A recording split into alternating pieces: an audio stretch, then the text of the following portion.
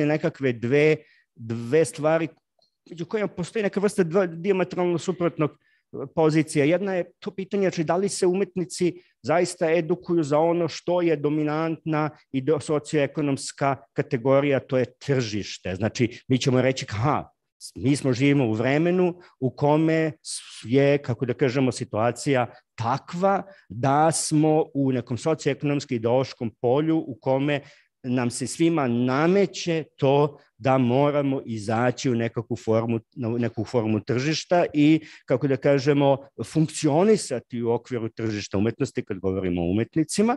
Ovaj, znači, da li se umetnici edukuju za to, znači da li im škola pruža to i da li možda oni to, da li oni to očekuju, jer stičem utisak da sve više i više mlade ljudi to možda to očekuju.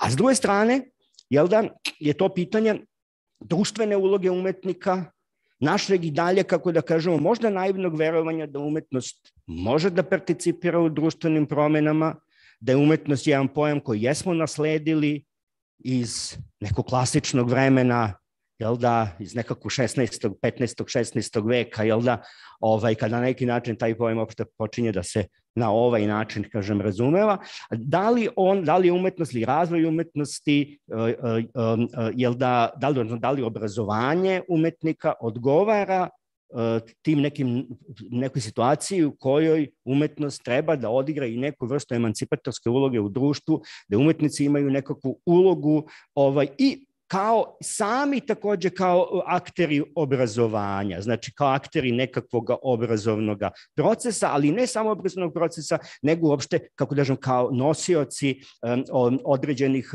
emancipatorskih uh, ideja i kao praktikanti uh, moguće ovaj, uh, značajnije društvene, društvene uloge umetnika. I sad te dve stvari postoji jedan veliki jaz, jel da, ali se mi uvek pitamo da li kako da kažem, nas trenutno umetničko obrazovanje usmerava ili ka jednom ili ka drugom ili ka nijednom od ta tri. E, I o to da, ovaj, da, da, da, kako da kažemo, pre svega, znači najavim naše troje gostiju koju, koji kao što rekoh su um, zaista, ja mislim, izuzetno merodavni da u ovom razgovoru učestvuju i ponude svoje uglove gledanja i svoje teze. Pre svega, ovaj, e, Bojana Matić, koja je docentkinja na predmetu diskurzivne prakse umetnosti na ovaj, e, fakultetu likovnih umetnosti u Beogradu, takođe na postdiplomskim e, studijama novih medija na Univerzitetu, umetnosti, naučna saradnica pri Globalnom centru za napredne studije u Dublinu, Irskoj i tako dalje, da ne čitam njene, ovaj, detaljno njenu biografiju koju imate ovde i u samom pozivu, veliki broj tako, e, tako objavljenih radova. Znači, Bojana je osoba koja predaje jedan teorijski predmet, odnosno bavi se teorijskim pitanjima, teorijskim promatranjima u toj centralnoj, glavnoj uh, obrazovnoj ustanovi u Beogradu, uh, koja je dugo vremena bila, kako da kažemo, neka vrsta monopolizatora na time, tada ona više nije, ali ono što je kod Bojene interesantno, po mom mišljenju, što ona predaje uh, jedan teorijski predmet u jednoj instituciji koja je do pre nekih deseta godina imala užasan otpor prema bilo kakvoj oblik teorijske, obliku teorijske nastave. Zatim, to je Dragan Protić, poznati kao Protaškart, član ove grupe Škart, koja već deluje već 30 e, godina i koji je ovaj e, koji možda nema iskustvo u institucionalnom obrazovanju, ali ima ne samo iskustvo, nego i, e, kako da kažem, i e, jednu neku vrstu i e, metoda, jednu vrstu metodologije obrazovnog pristupa unutar ra, saradnji sa različitim društvenim grupama, najčešće sa takozvanim marginalizovanim društvenim grupama, društvenim grupama koji su na nekoj margini jel da, društvenih zbivanja ovaj, i sa kojima grupa Škart um, deluje i sarađuje na različitim interaktivnim projektima koji zapravo jesu projekti obrazovanja, jer ako je pitanje eksperimenta u obrazovanju, ako postoji neka, neka oblast u kome se sa obrazovnim procesom može eksperimentisati, onda je to upravo umetnost. Odnosno, ako, ako umetnosti ne možemo da eksperimentišemo sa obrazovanjem, onda gde možemo? Jel da to bi bilo, kako da kažemo, moje pitanje. I konačno Marijana Cvetković, uh, istoričarka umetnosti, koleginica, ovaj, koja je doktorantna, takođe znači neko ko doktorant na univerzitetu umetnosti, neko ko se bavi teorijom umetnosti, piše teoriju umetnosti, ali s druge strane neko ko je svima nama poznat pre svega kao motivator, organizator različitih zbivanja na umetničkoj sceni. Ona je pokrenula ovaj servis za savremeni ples stanica, ovaj, onda jedna od osnivačica nezavisne kulturne scene, jedna od vrlo važnih aktera na nezavisnoj uh, uh, kulturnoj kulturnoj sceni. I ja bih rekao u ovom razgovoru neko ko može na neki način da poveže jel, na ova dva polja e, nečega što bi bilo nekakvo institucionalno akademsko obrazovanje s jedne strane i nekakav rad ovaj, e, sa neposrednoj, na, ne, na neposrednoj e, sceni, kulturnoj sceni, umetničkoj, nezavisnoj umetničkoj sceni kao nekoj svakako generatoru, možem reći, nezavisna kulturna scena u Srbiji, ipak jedan, kako da vrlo značajan generator e, mišljenja, nekog drugačijeg mišljenja o umetnosti, da upotrebimo tu reč, jel da, jer ono što je odma bitno oko obrazovanja, mi smo navikli da je pitanje obrazovanja pre svega pitanje reprodukcije znanja, jel da, ali naravno svi ćemo se složiti da je obrazovanje pre svega proces mišljenja i načina na koji, kako da kažem, se stimuliše mišljenje. Sad ja se izvinjavam na ovom možda malo dužem uvodu i taj uvod jeste bio duže, ali on opet nije zahvatio sve ono o čemu ćemo mi ovaj razgovarati i ja bi ovaj upravo zbog tog ovaj potrebe da malo i vidimo kakva je trenutna situacija i na u umetničkom obrazovanju jel da? Zamolio prvo Bojanu da prosto krene ovaj da nam nešto kaže o znači vašem vlastitom iskustvu kao predavačice u na na na znači jednoj umetničkoj akademiji koji pre svega edukuje praktikujuće jel da, e, umetnike, gde vi predajete jedan teorijski predmet, e, znači kakva su iskustva, e, kakve su vasi ovaj, postupci koje, koje imate u tom odnosu, jel da, između ovaj, činjenice da su vaši studenti pre svega umetni, budući umetnici i situaciju u kojoj vi predajete jedan predmet koji je, kako da kažem, pre svega, pre svega teorijski. Evo ja vam Branko, hvala puno na precizno artikulisanom uvodu. A, hvala organizatorima i organizatorkama na, na pozivu. Um, da, to su samo neki od problema, ne, ne, neki od relevantnih tačaka, ali zaista u, u kontekstu uh, ovog diskursa se može rasprava zaista, onako dosta, dosta kompleksna rasprava uh, napraviti. Ken Friedman je 72. godine, znači pripadnik Fluxusa, rekao um, sluge elite ne mogu biti umetnici, uh, jer uh, takvo sluganstvo rađa uh, vandalizam, uh, odgaja šakale duha. Uh, ja bi sad krenula možda od toga, uh, možda je to neka vrsta statementa, zapravo razmišljajući o tome e, šta bi, koje, koje su osnovne tačke, šta bih e, naglasila, negde sam videla da su tri nekakve tačke ili e, tri problema tu prisutna i prvi problem jeste u stvari problem ideologije škole, odnosno to pitanje pedagoškog društva.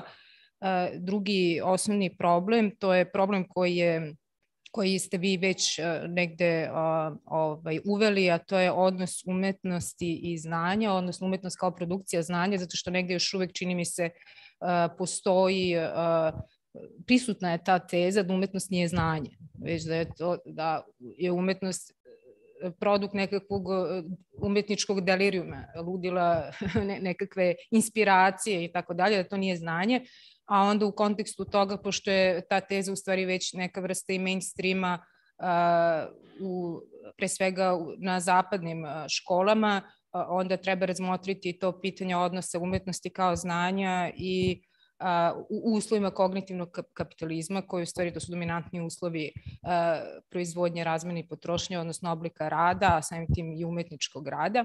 I na kraju, ja bi prosto kao nekakav primer emancipatorskih praksi danas razmotrila projekat Grilla University, Znači, to je treća stavka i Prota i Marijana su uzeli učešće u ovom projektu i jer čini mi se, bez obzira, znači vidjet ćemo sad tokom razgovora, Gila University na neki način uh, citira nekakve prakse Black Mountain College-a, e, Bauhausa, ali ne zaboravimo da ove škole jesu škole koje su e, vršile eksperimente unutar 20. veka, kada je u, znači u fordističkim pre svega uslovima i zaista neke elemente možemo reinventirati, ali sa druge strane moramo pronaći nekakve nove oblike praks i prakse mišljenja, zato što je ovo 21. vek i prosto e, radimo u drugačijim uslovima, tako da i samim tim i umetnička produkcija je prosto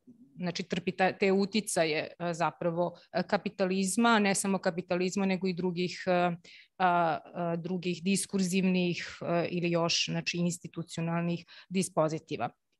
Znači ja ću govoriti sa pozicije kritičke teorije, odnosno teorije umetnosti, znači ne iz discipline pedagoško-andragoških nauka, to je isto jako važno, s obzirom da pedagogija i obrazovanje su samo jedna od tački mojih preokupacija u teoriji, e, zato što e, znači utoliko što zapravo e, te osnovne pretpostavke pripadaju diskursu takozvanih estetskih utopija, znači teorije emancipacije, a ne E, konkretno naučnom diskursu e, pedagoško-andragoških nauka koji ima sobstvene metode. To ne znači da ne možemo praviti nekakve interdisciplinarne e, ovaj, povezivanja, ali sa druge strane znači moramo, razmo, moramo znati, moramo se pozicionirati, mislim mi što god to značilo, znači prosto bitno je artikulisati tu poziciju sa koja se govori i meni je jako važno da u tom smislu napravim tu ogradu i da kažem da ja u stvari sa te pozicije govorim.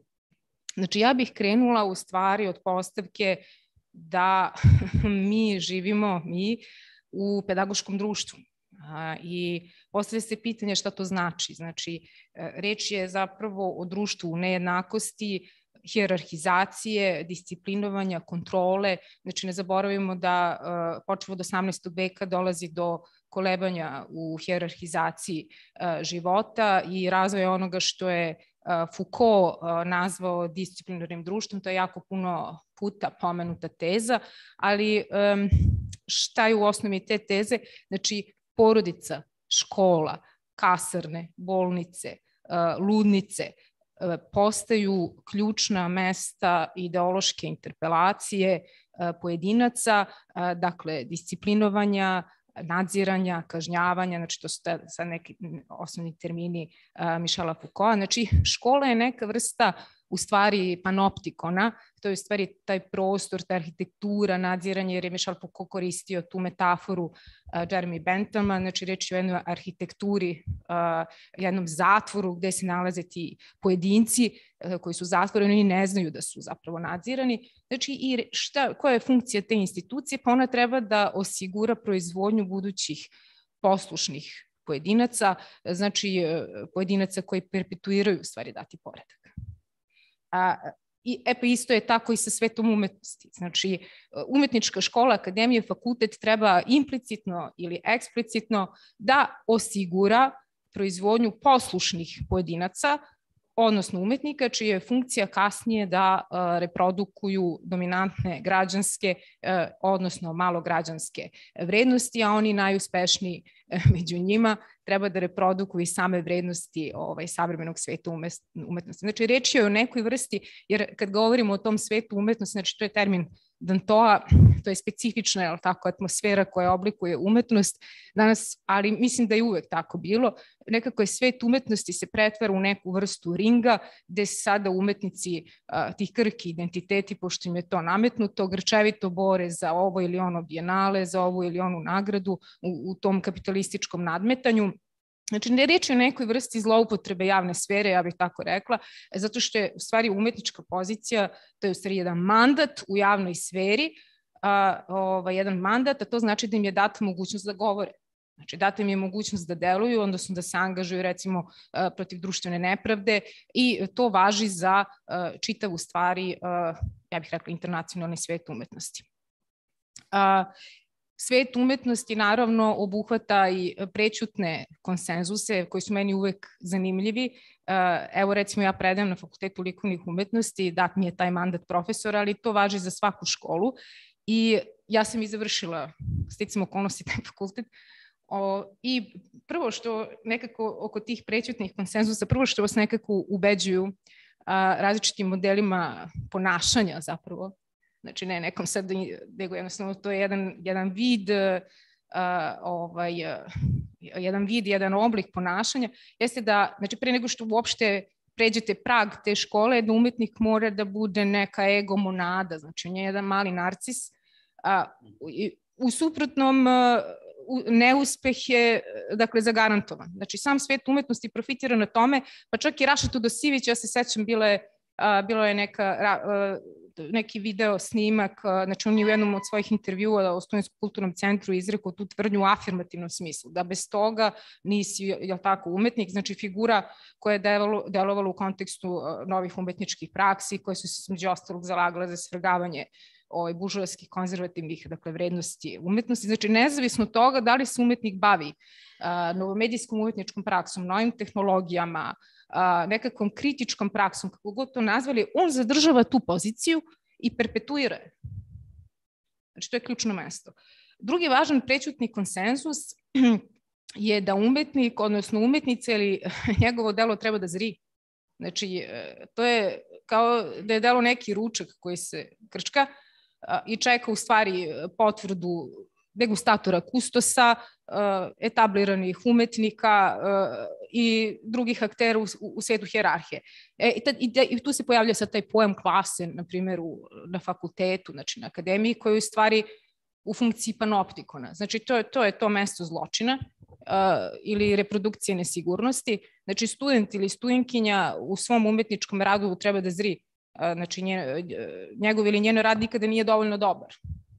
Ovaj, dobar je ukoliko profesor, genijalni dakle, umetnik, odnosno degustator po svom sobstvenom ukusu, odnosno inklinacijama, to ne potvrdi.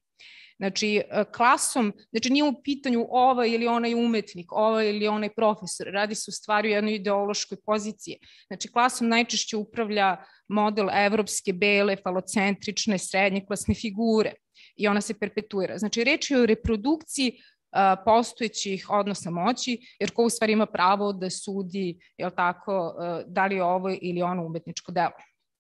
I ja, evo, ovo, posebno sam osetljiva na, na treći prećutni konsenzus. Ti ove, prećutni konsenzus su stvari najzanimljiviji. Reč je o falocentrizmu znači to je termin Žaka Deride, umetničkim fakultetom upravlja falocentrični govor, a to znači da ženska ili queer pozicija jeste moguća pretežno samo ako je muška prizna. Znači ženska ili pozicija manjinskih identiteta u svetu umetnosti je specifična, ona jeste moguća samo pod određenim okolnostima, a, a te okolnosti moraju biti nekako, znači u svakom smislu inferiornije. Često i sam feministički diskurs, na primjer, reprodukuje tu, de, tu dihotomiju superiorno-inferiorno, iako bi trebalo da bude suprotno. Dešava se. I ta vrsta prećutnog govora se perpetuira u školama, klasi, znači tim laboratorijama nejednakosti. Same umetnice, recimo, nesvesno usvajaju i reprodukuju taj falocentrični govor. Znači, reč je u reprodukciji patrijarhalnog diskursa koji odgovara ovom uh, savremenom patrijarhalnom, uh, u stvari predatornom uh, kapitalizmu, jer patrijarhat i rasizam su dva najjača motora savremenog kapitalizma ili uopšte kapitalizma. Ima još puno prećutnih konsenzusa i drugih problema, ali osnovna je hipoteza da škola u stvari implicitno ili eksplicitno disciplinuje, hjerarhizuje, kontroliše, što bi rekao Deleuze, znači u tom sam čuvenom tekstu u postskriptum uz društvo, društvo kontrole on govori o tom prelazu sa disciplinarnog društva na društvo kontrole, što znači da nisu samo škole ta mesta ideološke interpelacije, već i mediji masovne komunikacije koje daleko uspešnije reprodukuju odnose moći, odnosno vrše ideološku interpelaciju. Znači, reč je zapravo o distribuciji moći i nejednakosti. Znači, to je prvi važan problem u kontekstu ideologije škole. Ja sam krenula zapravo od nekakvih prećutnih konsenzusa, od nekakvih ponašanja i iskustava, ali probala sam nekako da artikulišem osnovne probleme. Da pređemo na drugi problem, ako se slažete, koje sam ja ovaj, uvela, ali je Branko to jako fino već u samom uvodu podcrtao, to je taj problem odnosa umetnosti i znanja. Znači, postoji zaista i dan danas, bez obzira što je na zapadu to već mainstream, ne znam kako je na istoku, ali znam da je na zapadu mainstream, znači da je umetnost između ostalog, između ostalog ima puno, puno određenja umetnosti, mi možemo jako puno raspravljati o tome, ali između ostalog jeste i produkcija znanja. nekako, pošto sam svet umetnosti sadrži različite, odnosno sastoji se iz različitih svetova umetnosti, između ostalog i vrlo konzervativnih, i između ostalog i modernističkih svetova umetnosti, tu možemo da vidimo da zapravo postoji to, taj veliki otpor prema teoriji, odnosno veliki otpor prema znanju i uopšte toj, toj definiciji ili odnosno tom određenju umetnosti kao produkcije znanja. Znači, umetnost nije produkcija znanja, već nekakva, nekakav rezultat umetničkog nekog iskustva, emocija, nekak, nekakvog, neke genijalštine, je li tako? Ovaj, znači, i imamo taj onda drugi problem, pošto je to već dominantna praksa na zapadu, to je sad taj problem odnosa diskurzivne prakse, odnosno konkretno produkcije, umetnosti kao produkcije znanja i kognitivnog kapitalizma. Ja bih prvo krenula, pošto pretpostavljam, ja sam nisam sigurna a, zbog publike, možda da objasnimo i sam pojem diskurzivne prakse za nekoga je to možda novo, a, znači, jer jedno je sad kad kažemo teorije, mi možemo misliti, možemo da kažemo da su to društveno-humanističke nauke, ali zapravo i nisu, znači, pa onda možda ne bi bilo loše da, da, da objasnimo odmah taj pojam, šta su u stvari to diskurzivne prakse, šta se to tačno dogodilo u umetnosti, a, tokom 20. veka, ali posebno od 90. godina, znači u kustoskim i umetničkim praksama. Znači, diskurzivne prakse e, i njihovo putanje u savremenoj umetnosti u druge polovine 90. godina se u stvari mogu smatrati sa jedne strane znači, e, ekspanzijom različitih rasprava o, o, o savremenoj umetnosti i njenoj društvenoj funkciji. A sa druge strane, diskurzivnost u umetničkim i kustoskim praksama je dobila zamah kada su u stvari e, dematerializovani mediji, znači predavanja, simpoziji, rasprave, razgovori, dakle radionice, pokrenuti kao sami umetnički, odnosno kustoski projekti. Znači, to, šta to, znači, diskurzivni događaji koji su se, na primjer, 70.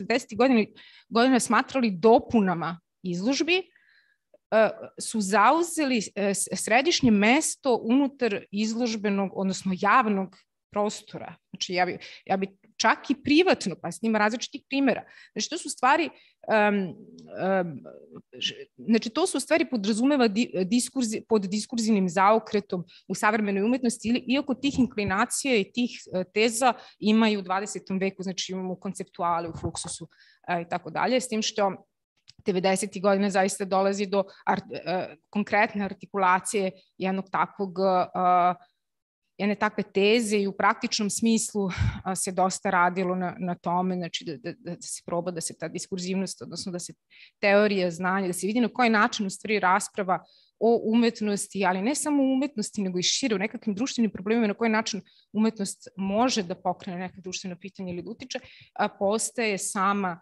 a, dakle, umetnost iako mislim od Dešana zaista bilo šta znači što označimo umetničkim, umetničkim delom je, je, je umetnost. Znači, diskurzivne prakse a, unutar savremene umetnosti su delom izgrađene na tradicijama konceptualne umetnosti, znači reč je o promišljanju, o značenjima umetnosti, funkciji i društveni odgovor, recimo društvenoj odgovornosti muzeja, društvenom položaju i statusu umetnika i one su u tom smislu promenile formu, sadržaj i način prezentacije umetničkih dela. Misli se pre svega na izložbeni prikaz, ali su promenili funkciju institucija, znači njihovu izložbenu politiku, pa čak i ulogu aktera unutar njih. Misli se na različite oblike saradnje, dakle relacije, je li tako? Znači kustos preuzima mandat umetnika, umetnik preuzima mandat kustosa, kustos preuzima mandat teoretičara, znači konstantno se, se smenjuju te pozicije. Znači, taj diskurzivni pomak zapravo implicira između ostalog i stalnu kritičku procenu samih tih promena artikulacije. Inače, to je taj pojam diskurs, to sad nisam na samom početku rekla, znači diskurs je u stvari govor, ali ne bilo kakav govor, već govor konteksta, a, tako da se iz tog govora taj kontekst može prepoznati. Mi često na, na predavanjima pominjemo, znači to ključno ime jeste a, ime Mišela Foucault, koji pod diskursom podrazumeva određeni skup normi i pravila koji regulišu oblik govora, jer umetnost između ostalog, znači između ostalog jeste i određeni oblik uh, govora. Znači, uh, nekak, nekakvo iskazivanje, bilo da je u pitanju neka vizualna produkcija, znači slika, te, uh, to može biti performans, ali to je isto nekakav oblik govora.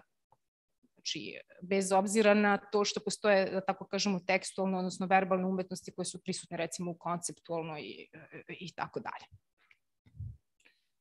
Znači, to je ono što se tiče odnosa teorije, odnosno diskurzivnih praksi, odnosno umetnosti kao diskurzivne prakse, jer u modernizmu zaista postoji, i čini mi se da je to jedno od najsimptomatičnijih mesta, taj veliki otpor prema teoriji, gde se teorija pojavljuje kao neki sekundarni metatekst u odnosu na umetničko delo. Znači, umetnik stvara, a teoretičar kustos dođe, on valorizuje, kustos ili kritičar umetnosti valorizuje rad e, na osnovu nekakvih vrednostnih kriterijuma, teoretičar e, recimo e, proizvodi nekakvu tekstualnu kontekstualizaciju dela i taj tekst uopšte nije integralni aspekt, je tako, prema modernističkim stavovima, inklinacijama, uopšte nije integralni aspekt umetničke proizvodnje, je, nego je nekakav, eto, tu dodatak koji je u službi zapravo tog genijalnog umetničkog dela. Znači, diskurzivne prakse u stvari svrgavaju ovu opoziciju. Ima tu jako puno primera, recimo, Grant Kester je 2005. godine, znači kustos i teoretičar, on je raspravljao zapravo o kretanju brojnih savremenih umetnika prema toj društveno angažovanoj umetnosti koje su u stvari utemeljene na dijalogu. Znači, i on je tu negde, znači umetnici u stvari u ovakvom kontekstu izbegavaju e, tradiciju stvaranja objekata i umesto toga prihvataju nekakve vidove e, performativnosti, znači performativni pristup koji se u stvari temelji na procesu koji uključuje artikulaciju saradničkih susreta, razgovora, i često uh, daleko izvan institucionalnih granica galerije ili muzeja. To isto je jako bitno. Zato što, znači on je pomenula čak onaj primer Vohen Klausur u prevodu nedeljni ispit, znači jednog kolektiva koji je organizovao krstaranje po Ciriškom jezeru u, u, u razdoblju nekoliko nedelja kako bi zapravo omogućio um, jednom eklektičnom skupu ljudi, znači političarima, novinarima, seksualnim radnicima, aktivistima, razgovor o uh, nevolji uh, znači beskućnika i tako dalje. Zašto krstaranje? Pa cilj je bio pokušaj izolacije, diskusije od oficijalnog medijskog nadzora, znači izbegavanjem tih retoričkih zahteva tog službenog statusa. Znači evo sad mi smo ovde pozvani šta je tribina, znači imamo nekakvu hijerarhiju, ali tako zna se šta je tribina, postavljeni smo u tu poziciju onoga za koga se pretpostavlja da zna. Tako. E sad kad bismo napravili neki eksperiment, ne, ne, možda bi to izgledalo onda, svakako bi imalo nekakav drugačiji, pretpostavljam, imalo bi drugačije efekte. Ima dosta kritičkih refleksija vezanih za, ovak, za, za ovakav pristup, samo ću pomenuti recimo Claire Bishop, znači o tome se može puno, puno a, a raspravljati. Ja sam malo proširila, ne znam da li imamo dovoljno vremena, ali e, samo bi pomenula kratko vezu teorije umetnosti i a, a, kognitivnog kapitalizma, znači a, odnosno umetnosti kao produkcije znanja koji je u stvari jedan od dominantnih sad oblika, odnosno mainstream na zapadu, na zapadnim školama. E, znači, reč je zapravo o jednoj tendenciji koja ide ruku pod ruku sa a, kognitivnim, odnosno s uslovima kognitivnog kapitalizma, E, I sad posle se pitanje šta se podrazumeva pod kognitivnim kapitalizmom. Znači, reč je o jednom specifičnom stupnju ili obliku savremenog kapitalizma koji se u stvari zasniva na a, akumulaciji nematerijalnog kapitala. Znači, na diseminaciji i raspodeli znanja, znači koje postaje u stvari izvor vrednosti a, i predmet akumulacije i uslov perpetuacije ovakvog ekonomskog sistema zapravo čini rad sa znanjem, znači e, rad sa kodovima e, kao dominantnim objektima i sredstvima zapravo savremene proizvodnje razmene i potrošnje.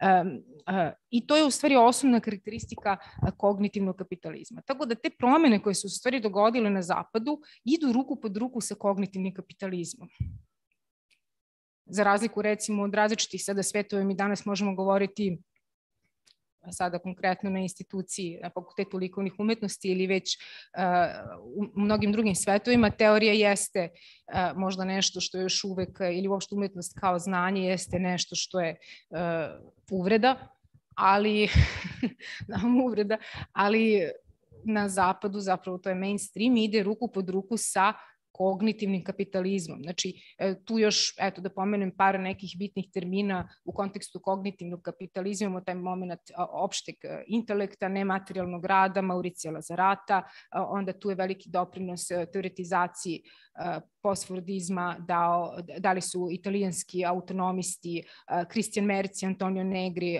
Paolo Virno, Mauricija Lazarata. Znači, reč je o nematerijalnom radu dakle koji postaje i kreativnost i to je jako važno, koji postaje u stvari glavni agens akumulacije kapitala za razliku od fordističkih uslova proizvodnje razmene i potrošnje.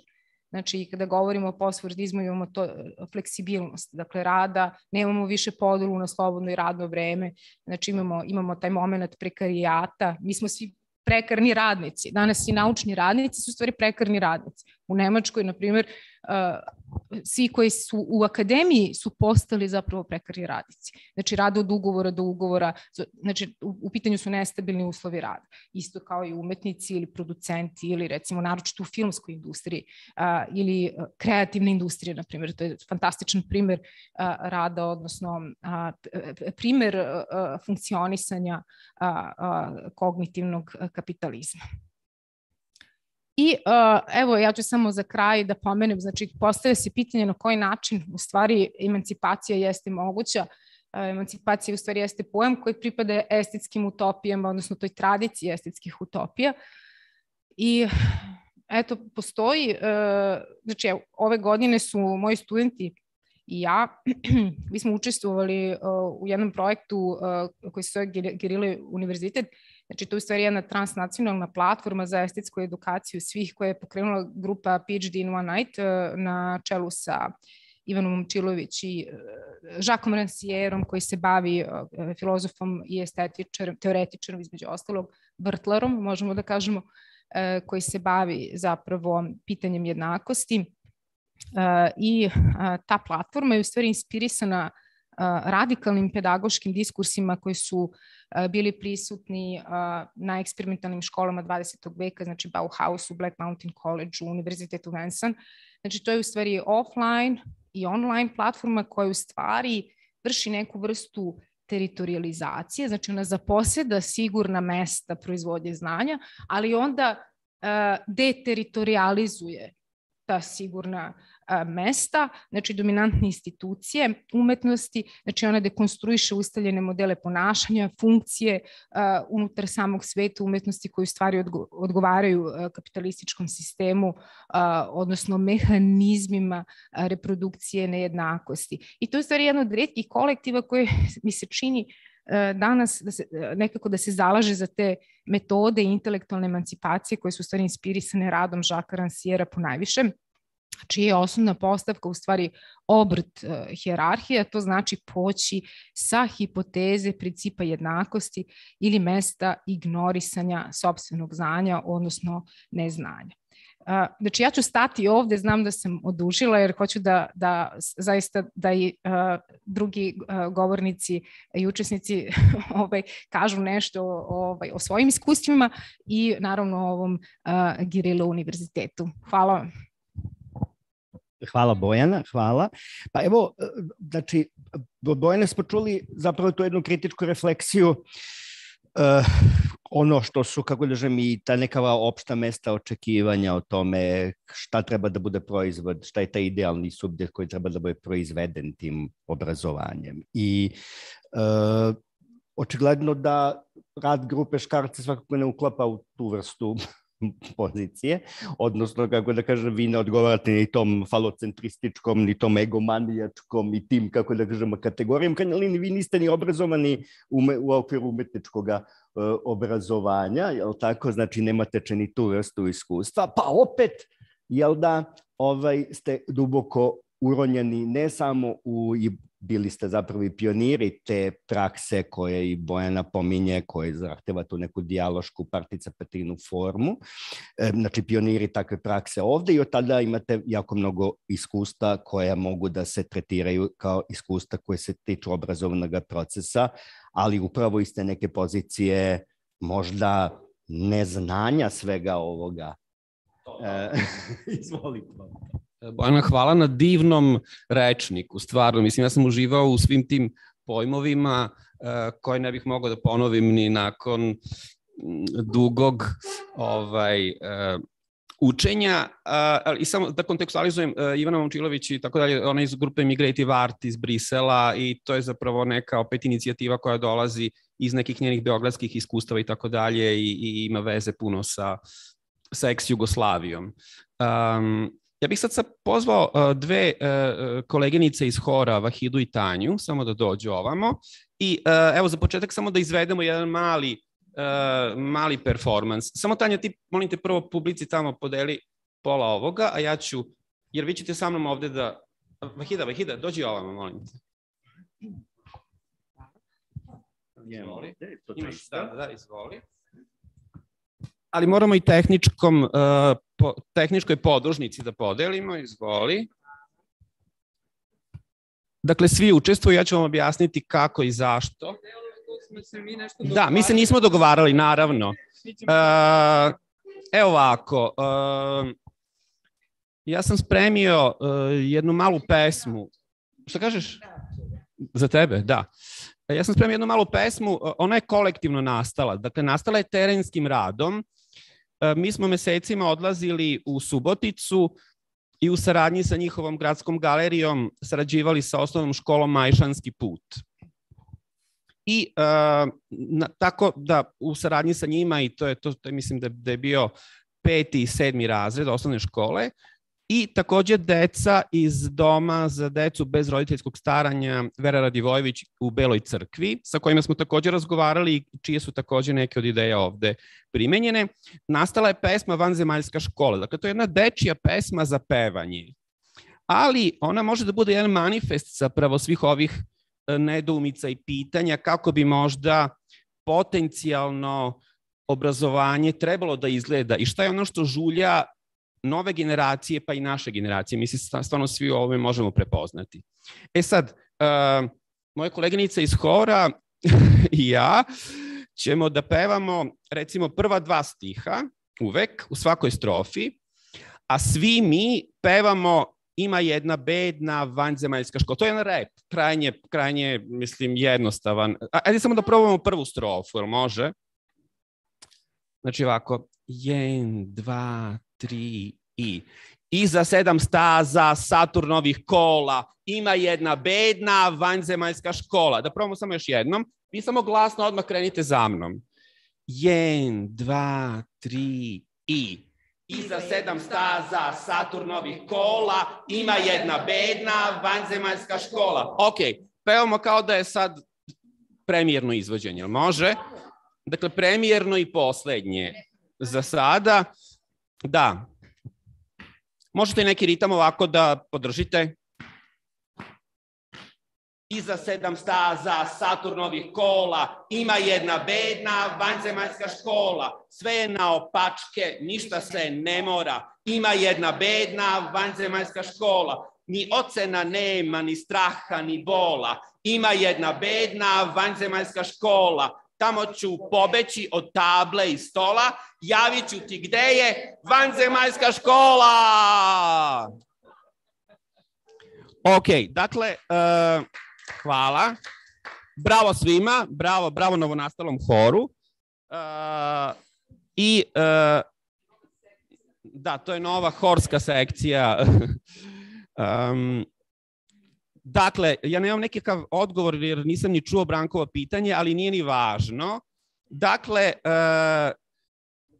pa i zajedničko pevanje može da bude deo prakse zapravo oslobođenja od straha, ono što je Bojana spominjala, ta, ta vrsta zapravo stalne rigidnosti i stalne krivice da nisi dovoljno dobra u klasi, dobar u klasi, da ne znaš dovoljno tehničkih, mi dolazimo s arhitektonskog fakulteta, Eh, da ne znaš dovoljno tehničkih podataka, da nisi dovoljno knjiga pročitao i tako dalje i tako dalje i tako dalje.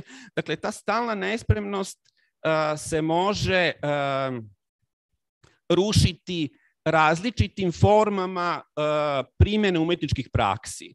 Dakle, jedna od primjena umetničkih praksi je i kolektivno pevanje, odnosno horsko pevanje, do, do kog smo mi došli raznim akcijama koje smo radili 90-ih, pa tako dalje, pa tako dalje do hora koji smo formili 2000. godine, Horkeškart, koji pod imenom Horkestar traje i danas. Znači i bez nas jedan kolektiv nastao pre 22 godine, još uvek aktivno uh, komponuje, piše, učestvuje i ono što je bitno, uh, negde je prisutan u društveno kritičkim um, priredbama i situacijama. Znači ono što možda nismo spomenuli, tu formu a, društvene korisnosti. Dakle, umetnost kao jedan, jedan, jedna praksa, jedna zapravo privilegovana sloboda u kojoj ti kroz svoj eksperiment možeš da a, možda doprineseš ili da daš glas više ili da malo one običiš a, te već užasno izlizane forme pa kao zapravo i ovaj, ovaj, ovaj sastanak, zapravo sve sad postalo nešto online i sve isto, i sve galerije izgledaju, što neko kaže, kao čekaonice u bolnicama. Tako da umetnost se nekako zamorila i, i, i ovaj, potrebne su joj e, nove, makar i stramputice. Evo, reč stramputice sad upotrebljavam prvi put. Dakle, nemam odgovor, nisam ni čuo pitanje, ali idemo dalje. E, toliko od mene. E, hvala lepo. E, vidimo se na sledećem pevanju. E, hvala Proto na ovom ovaj, uh, efikasnom, ali s veoma sažetom odgovoru na pitanje koga nije bilo. Ove, posle ćeš moći da smislim jedno ozbiljno pitanje koje nećemo svi smučiti. Ove, Marijana, evo ovako, ajde da zatigne situaciju malo. Mislim, ovde imamo, kako da kažemo, dve situacije koje, ove, ajde da probam tako da kako kažem, što kaže Bojana, Apsolutno da, Ti imamo, mi imamo situaciju u kojoj je na um, umetničkim, um, okviru umetničkog obrazovanja, naravno ovde, post, već, kako da kažem, postojala ta, taj otpor prema teoriji, prema teorijskom mišljenju, teorijskom znanju. S druge strane se može zapaziti da u poslednje vreme imamo sve više i više pojava u umetničkoj praksi u kome ta vrsta, kako da kažem, iskazanog, unapred iskazane teorijske platforme i teorijske propozicije prethodi umetničkom radu. Znači sve više i više imamo umetnika, bar to što ja vidim na izložbama, koje, kako kažem, unapred, kako kažem, teorijski obrazlože, pozivajući se na ozbiljne teorijske kategorije i mišljenja, unapred obrazložu ovaj, nešto ovaj, u kome ta teorija zapravo, to teorijska ne prethodi nekakvom iskustvu suočenja sa tim, sa tim radom. S druge strane, imamo i ovu protivnu poziciju društvene korisnosti. Jel da, ili primenjenih umetničkih praksi, koje takođe na izvestan način prejudiciraju, jel da, da umetnost treba da ima neku svoj učinak, neku svoju korist i tako dalje. Znači, u oba slučaja, ako smem da budem, kako da kažem, malo ovako bezobrazan, u oba slučaja imamo, kako da kažemo, nešto što je Mm, možda obrnuto od onoga što Francijer hoće da kaže, jel da, da je umetnost, kako da kažem, nema svoju destinaciju, da je, ovaj, da je ta destinacija umetnosti nešto što je neodređeno, ovaj, da ona ne ume da misli nešto što se unapred već zna i tako dalje.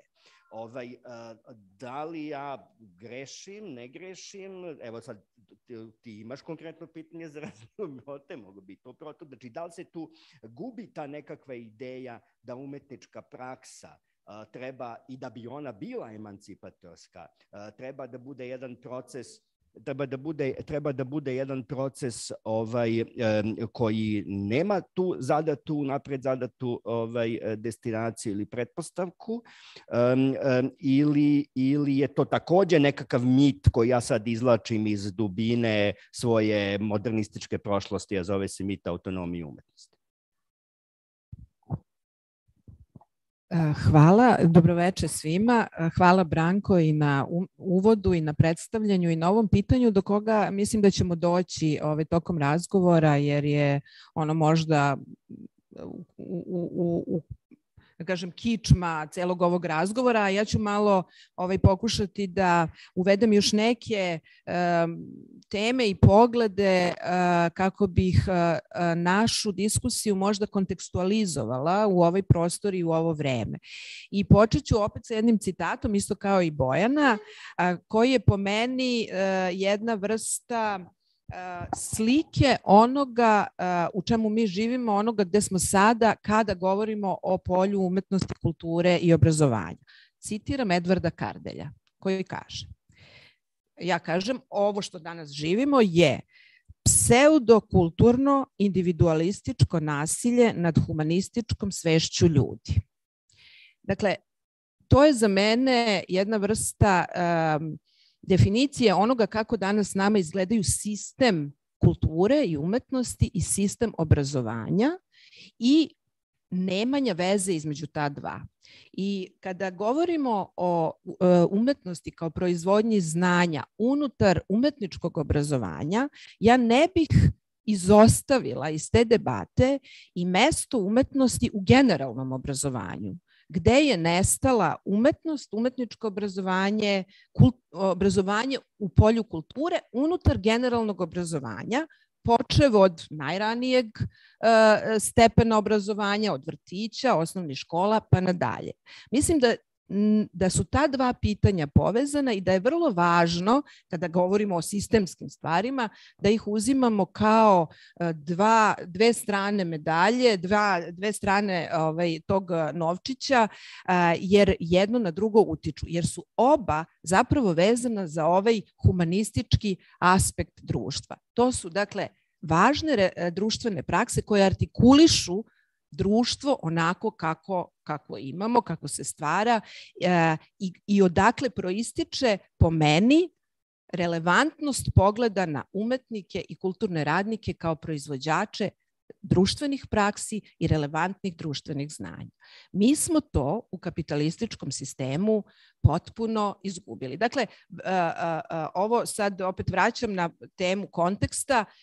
Mi govorimo iz jednog konteksta koji je kapitalistički, neoliberalni kontekst u kome se kroz procese akumulacije kapitala artikulišu nove elite, ali takođe govorimo i o jednom postsocijalističkom kontekstu, dakle jednom kontekstu koji ima to socijalističko iskustvo koje još uvek nije izgledalo, još uvek smo neki mi živi koji smo to doživeli i koji e, smo e, na kraju krajeva formirani kroz to iskustvo i to je nešto što naš kontekst razlikuje od nekih drugih konteksta koji su nama takođe bliski kroz procese mobilnosti, komunikacije, saradnje i tako dalje. Govorimo o ovom nekom zapadnom, uh, zapadnom kontekstu.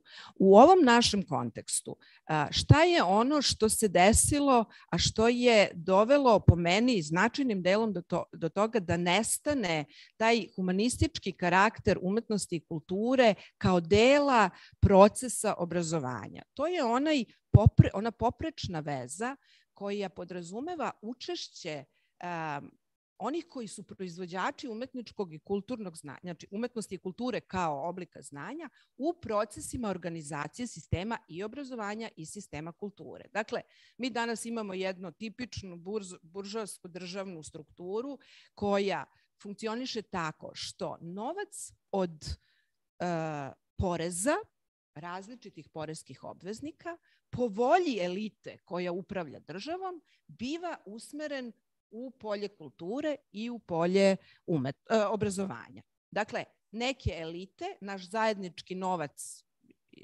na, koji se skuplja kao porez, po svojoj volji i meri i svojoj agendi i svojoj ideološkoj matrici ulaže na određene načine umetnost i kulturu.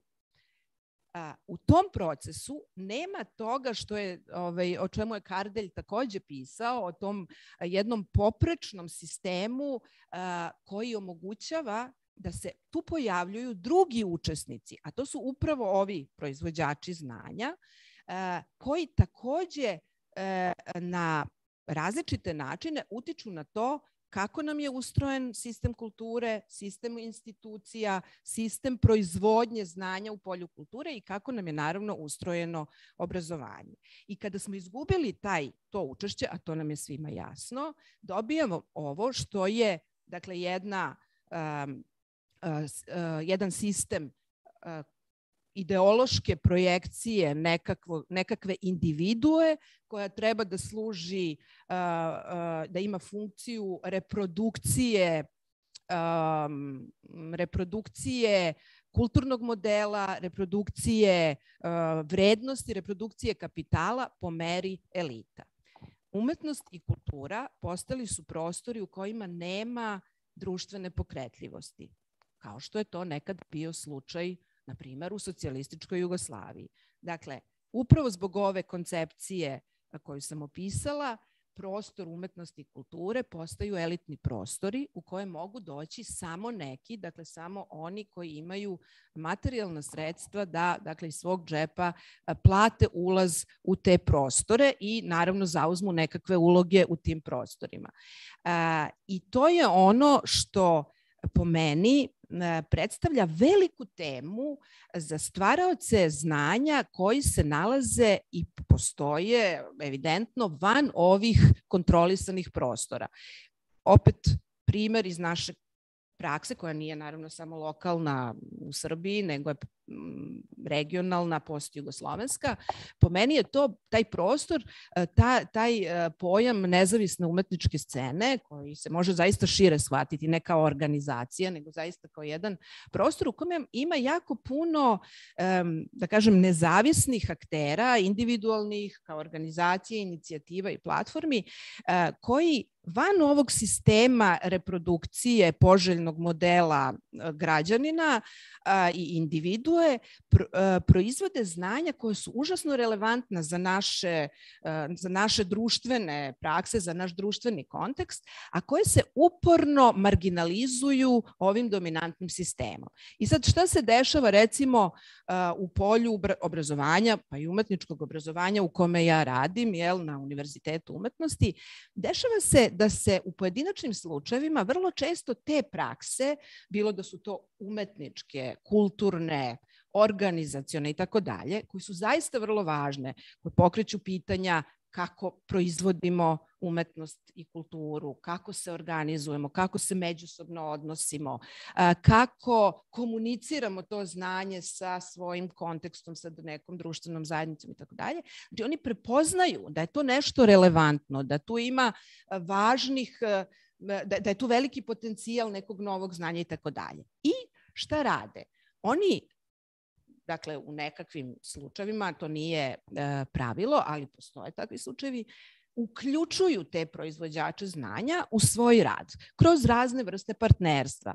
E, tome doprinosi projektni rad na, nivo, na nivou Evrope i svih tih evropskih projekata koji podržavaju jel, inovativne programe i u polju obrazovanja i oni onda njih uključuju kao partnere i pokušavaju da nešto tih znanja uvedu u to polje institucionalnog obrazovanja, ali zapravo E, sistem i dalje ostaje isti. Dakle, uvode ih kao jednu vrstu e, izgovora za rad e, u polju, u nekakvom međunarodnom polju gde je gde su pojmovi reforme, razvoja, dinamika, novih i tako dalje vrlo bitni, a zapravo sistem ostaje isti i njihove radne pozicije takođe ostaju iste ti partneri koji su mogli zaista da donesu izvanredno važne sadržaje, e, znanja, načine rada, promišljanje, kritičko, kritičke stavove, diskurzivne prakse i tako dalje, oni i dalje kada se projekat završi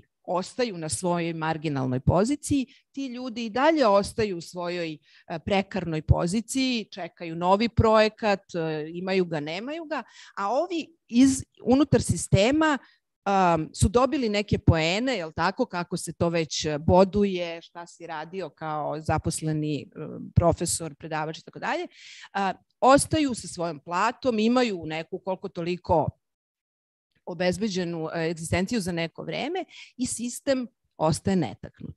I znači pitanje je tu uh, po meni uh, uh,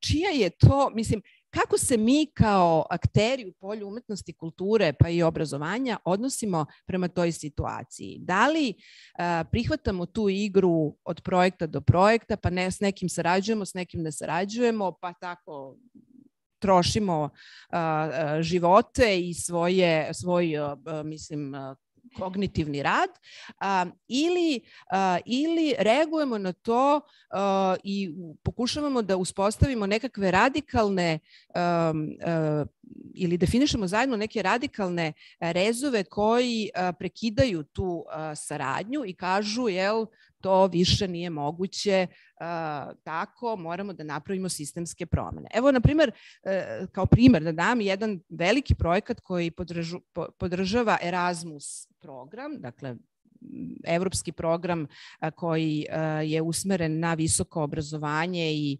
razvoj visokog obrazovanja u Evropi, u kome učestvuje Univerzitet umetnosti i, koji, i to njegov program, ovaj master program za kulturne politike i management u kulturi.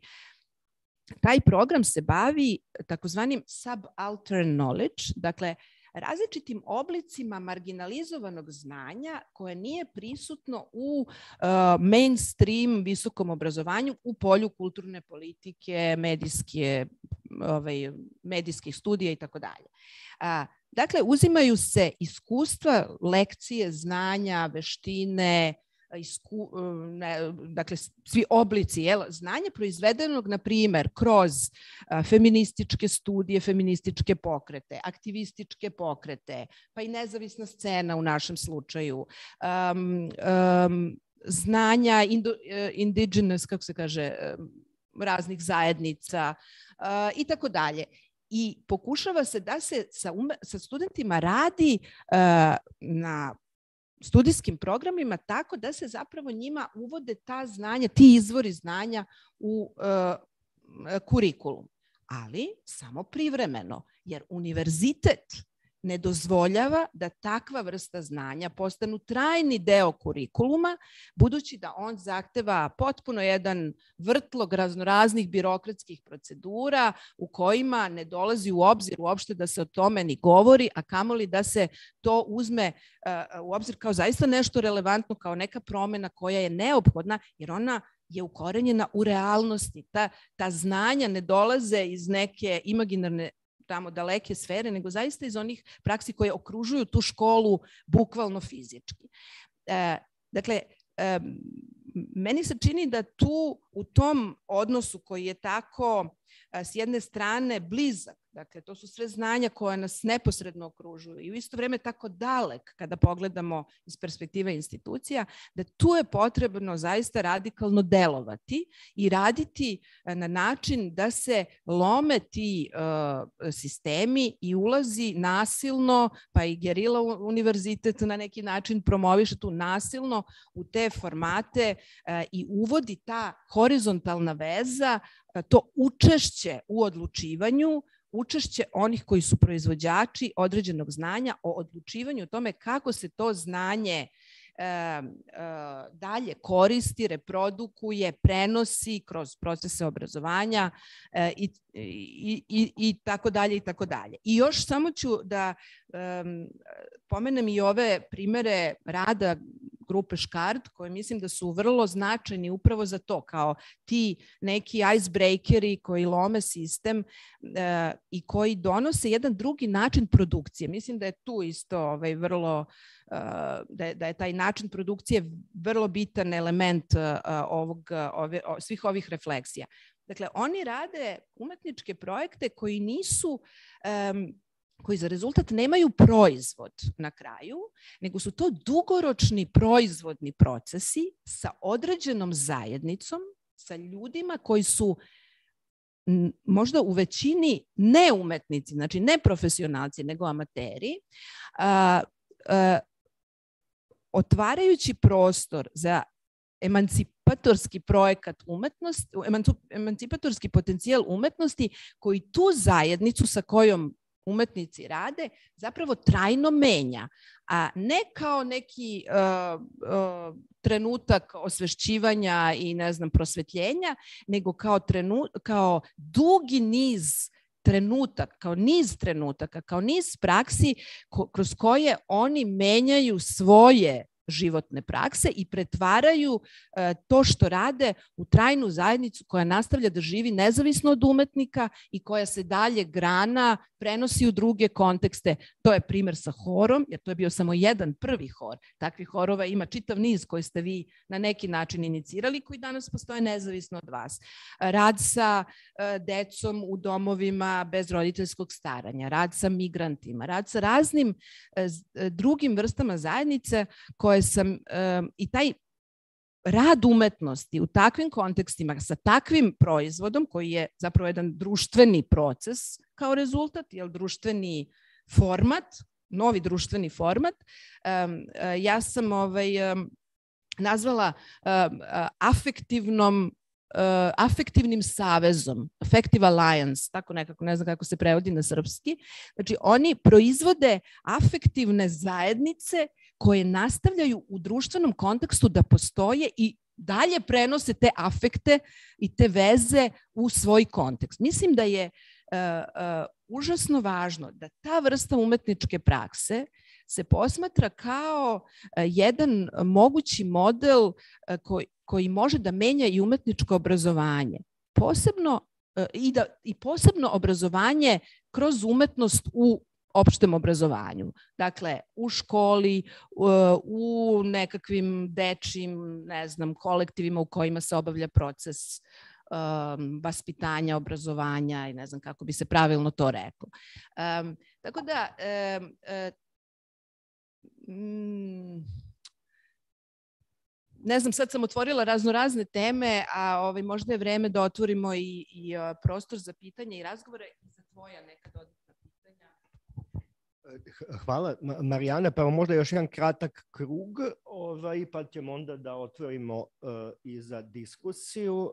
Uh, s obzirom na ovo što je Marijana Bojana, ovo što je Marijana rekla, uh, prosto i da se nadovežem na to, znači uh, mi imamo jednu situaciju koja je možda za ove naše ovaj uslove relativno nova, ali sasvim je jasno da na zapadnoj Evropi u poslednjih 20-30 godina umetnička mesta umetničkog obrazovanja postaju mesta i, kako da kažemo, proizvodnje nekakve kritičke teorije. I šta više, često dolazimo u tu situaciju da, kako da kažemo, iz pozicije ipak nekakvog obrazovnog autoriteta, dolaze ljudi koji, kako da kažemo, postaju neka vrsta, kako da kažemo, društvenih ledolomaca u smislu kritičkih uvođenja nekakvih novih kritičkih praksi, pomenuću recimo Marinu Gržanić kao pomenućem baš recimo primer takve jedne pozicije koja je strukturalna univerzitetska pozicija, ali koja, kako da kažem, stalno pokušava sakrije zapravo tu strukturalnu strukturalnost i, kako da kažemo, ovaj, tom proizvodnjom kritičkog diskursa koji, kako da kažem, ipak ima neki background ili nekakav backing. Ovaj. To se, mene zanima kakvo je vaše iskustvo, na koji način, kako da kažemo, uključiti ovo što i Marijana kaže, znači ne samo proizvodnju nekakvog kritičkog diskursa, nego, kako da kažem, neposredna e, iskustva e, e, u neformalnom obrazovanju, u nekom vrste samoobrazovanja, kakvih ovde u ovoj sredini je bilo u poslednjih 20-30 godina relativno, ovaj, a smatram da one nisu na neki način uključena u nekakve obrazovne, eh, obrazovne procese, da sad ne nabrajam niz takvih eh, projekata, što kraćih, što dužih, koji su se bavile pozicijom obrazovanja umetnosti, a da nisu pripadale nekakvom akademskom poprištu ili akademskom, akademskom polju. Eh, na koji način zapravo, kako da žem, takve prakse uključiti u nekakvu vrstu, da kažem, redovne jel da, nastave na univerzitetu, e, univerzitetu umetnosti, na koji način, da li to treba raditi ili te ljude treba držati, kako da, ili je poenta u tome, jel da, da su oni nekakvom polju koje je neformalno. Um, ovaj, budući da je sasvim jasno da je naš, naročito fakultet likovne umetnosti do sada uspevao da ne dozvoli jel, da, da takve vrste ljudi bude na pozicijama predavača. Znači, pomenuta recimo generacija konceptualaca, niko od njih nije završio na umetničkim, umetničkom obrazovnom procesu, e, niko drugi koji 90-ih isto počeo da se bavi nekim drugim ovaj, pitanjem, isto tako nikad nije završio u obrazovnom umetničkom um, uh, procesu, što je normalno i logično budući da se univerziteti samo reprodukuju, jel da, oni imaju tu, ovaj, tu, tu, tu i poziciju i tu, kako da kažem, privilegiju. Um, a, e sad vi koji, kako da kažem, imate tu vrstu širine ovaj, prema upravo i sudelujete u projektima koji uključuju um, i te neformalne ili, kako kažem, van institucionalne oblike obrazovanja, uh, na koji način kao, kao neko ko radi u instituciji ulazite sa uh, takvim procesima u komunikaciju, uh, ovaj, uh, da li je, kako da kažem, to vama opšte omogućeno unutar, znači ne govorimo o tim nekakvim ad hoc projektima, nego u nekom vrstu redovnog, redovne prakse unutar obrazovnog procesa. Hvala na pitanju. Da, to je dosta teško pitanje. U stvari, teško je uvesti zapravo te koncepcije neformalnog ili samoobrazovanja u nekakav institucionalni kontekst koji je strogo birokratski, državno ustrojen sa strogom hjerarhijom. Mada moje iskustvo pokazuje da ja u tom smislu imam dosta autonomije, a verujem da recimo na nekom nemačkom univerzitetu, na primjer, uraditi nešto poput Guerrilla University ili uvesti nekakve druge oblike, jer znam da je e, teorija koja hoda imala razne pro, pro, jako dobre programe u tom smislu, e, kvalitetne, međutim i postoji taj problem dostupnosti informacija. Mnogi studenti u stvari nisu uh, i pojedinci nisu informisani, do njih teško dolaze informacije, ali često postoji čitav niz aktera u kulturi koji jednostavno reprodukuju određene odnose moći, odnosno nekakve konzervativne, da tako kažem, ajde možda grupo zvuči, ali jeste tako, konzervativne vrednosti i u tom smislu ne dozvoljava, znači time se praktično onemogućava tim drugim praksama ne daje se legitimitet. Znači, neko može da kaže da, ja to ne razumem, ali ja znam da, mislim, ako neko ko radi na fakultetu, moram da znam da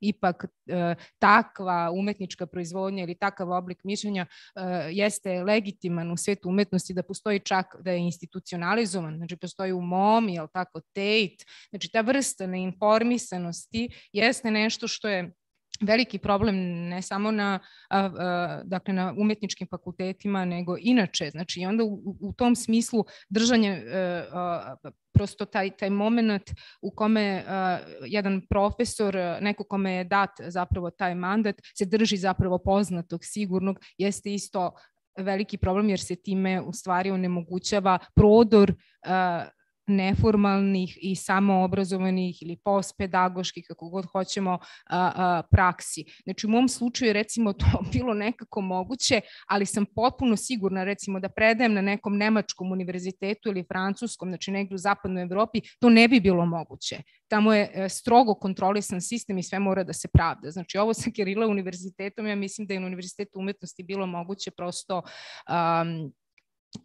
iako je to, to je jedan radikalan ovaj ipak radikalna praksa mišljenja koja je u velikoj meri u suprotnosti sa onim što se recimo nudi konkretno, ja sad mogu da govorim o ustanovi gde radim, u suprotnosti sa modelima ili načinima oblikovanja zapravo pozicije umetnika, odnosno identiteta, samog identiteta umetnika na tom fakultetu, odnosno u okviru te institucije.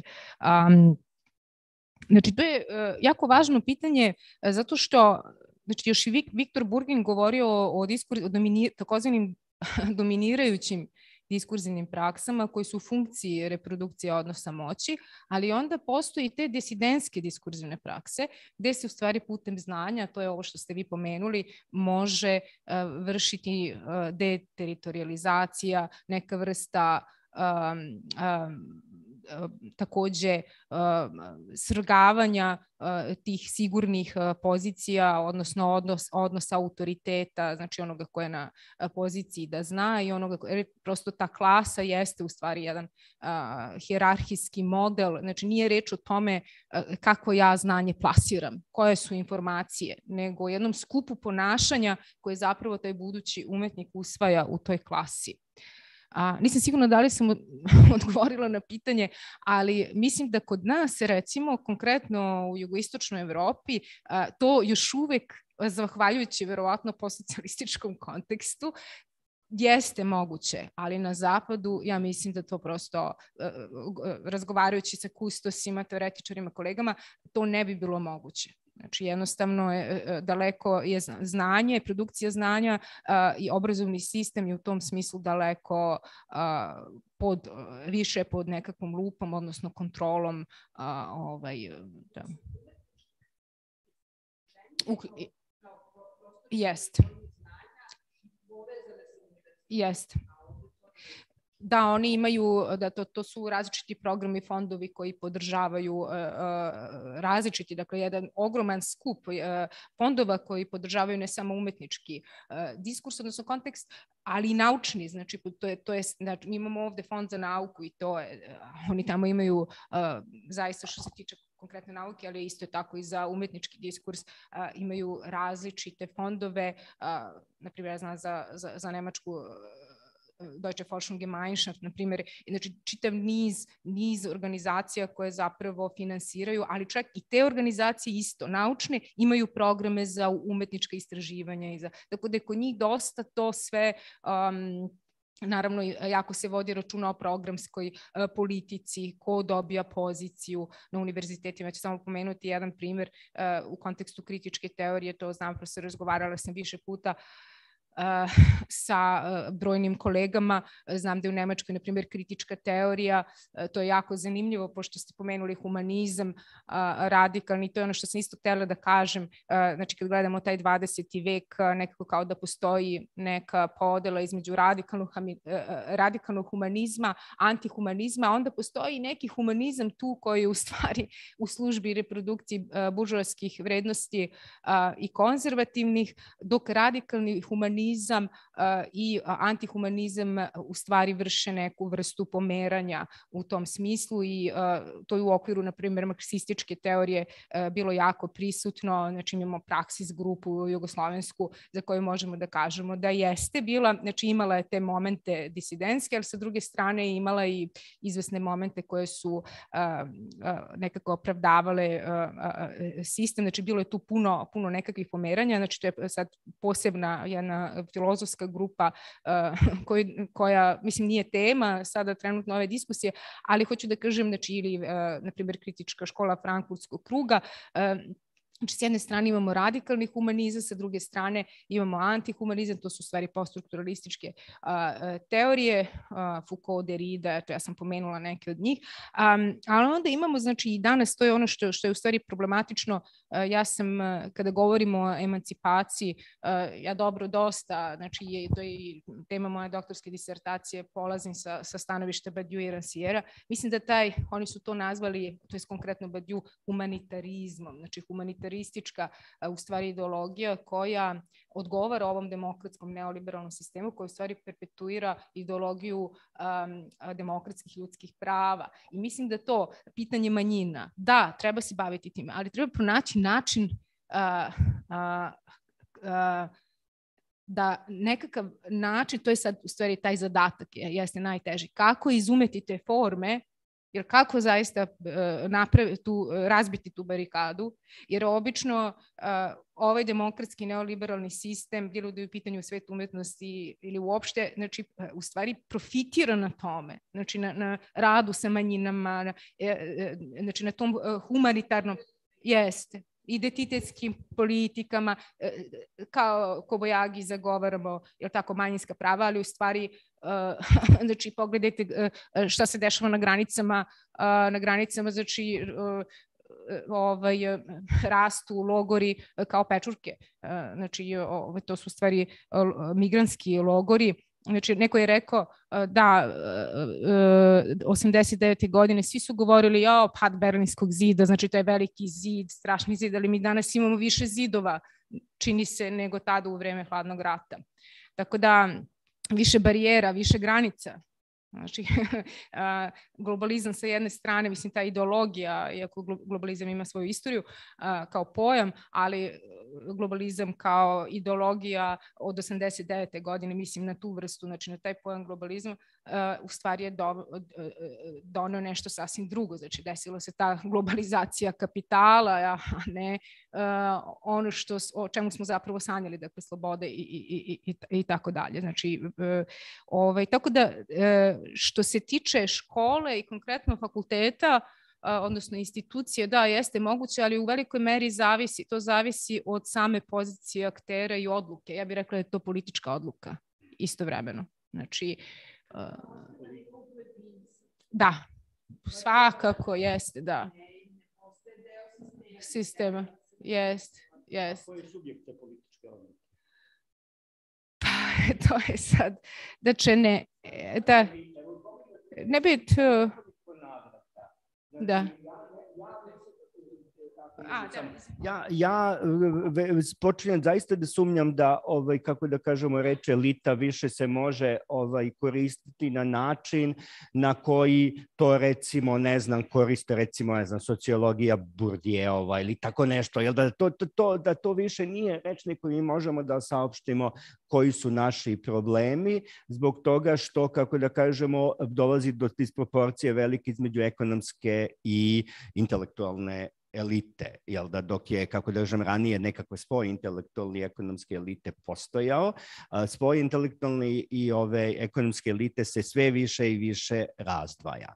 E, ne znam da li se s tim slažete. I takođe će još jedno, jedno kratko pod pitanje pre nego što dam proti, pre nego što protu nešto pitam vas, znači da li, sad, da li smo sad u situaciji da ovo što vi sad govorite, smo nekako u situaciji da sve znamo, me, mehanizme smo uspeli da analiziramo, ali nas upravo možda to sprečava da uđemo u tu nekakvu vrstu naivnosti neophodne za um, um, umetnički postupak, neku vrstu, kako da kažemo, skoka u prazno, kao umetničkog postupka u kome se sada ljudi, kako da kažem, naročito mlađe generacije, samo zastraše količinom svesti i razumevanja od toga da postoji potpunosti razumevanja za sve, za sve ono što nas okružuje, ali da to upravo sprečava mogućnost izlaska ili tu neku invenciju o kojoj stalno govorimo. Ja sam zapazio da se već na 30 govor, godina govori o tome, malo kako je pao Berlinski, možda ne baš odmah, posle tih dve, tri godine celebratornog tog iskustva, počela se misli to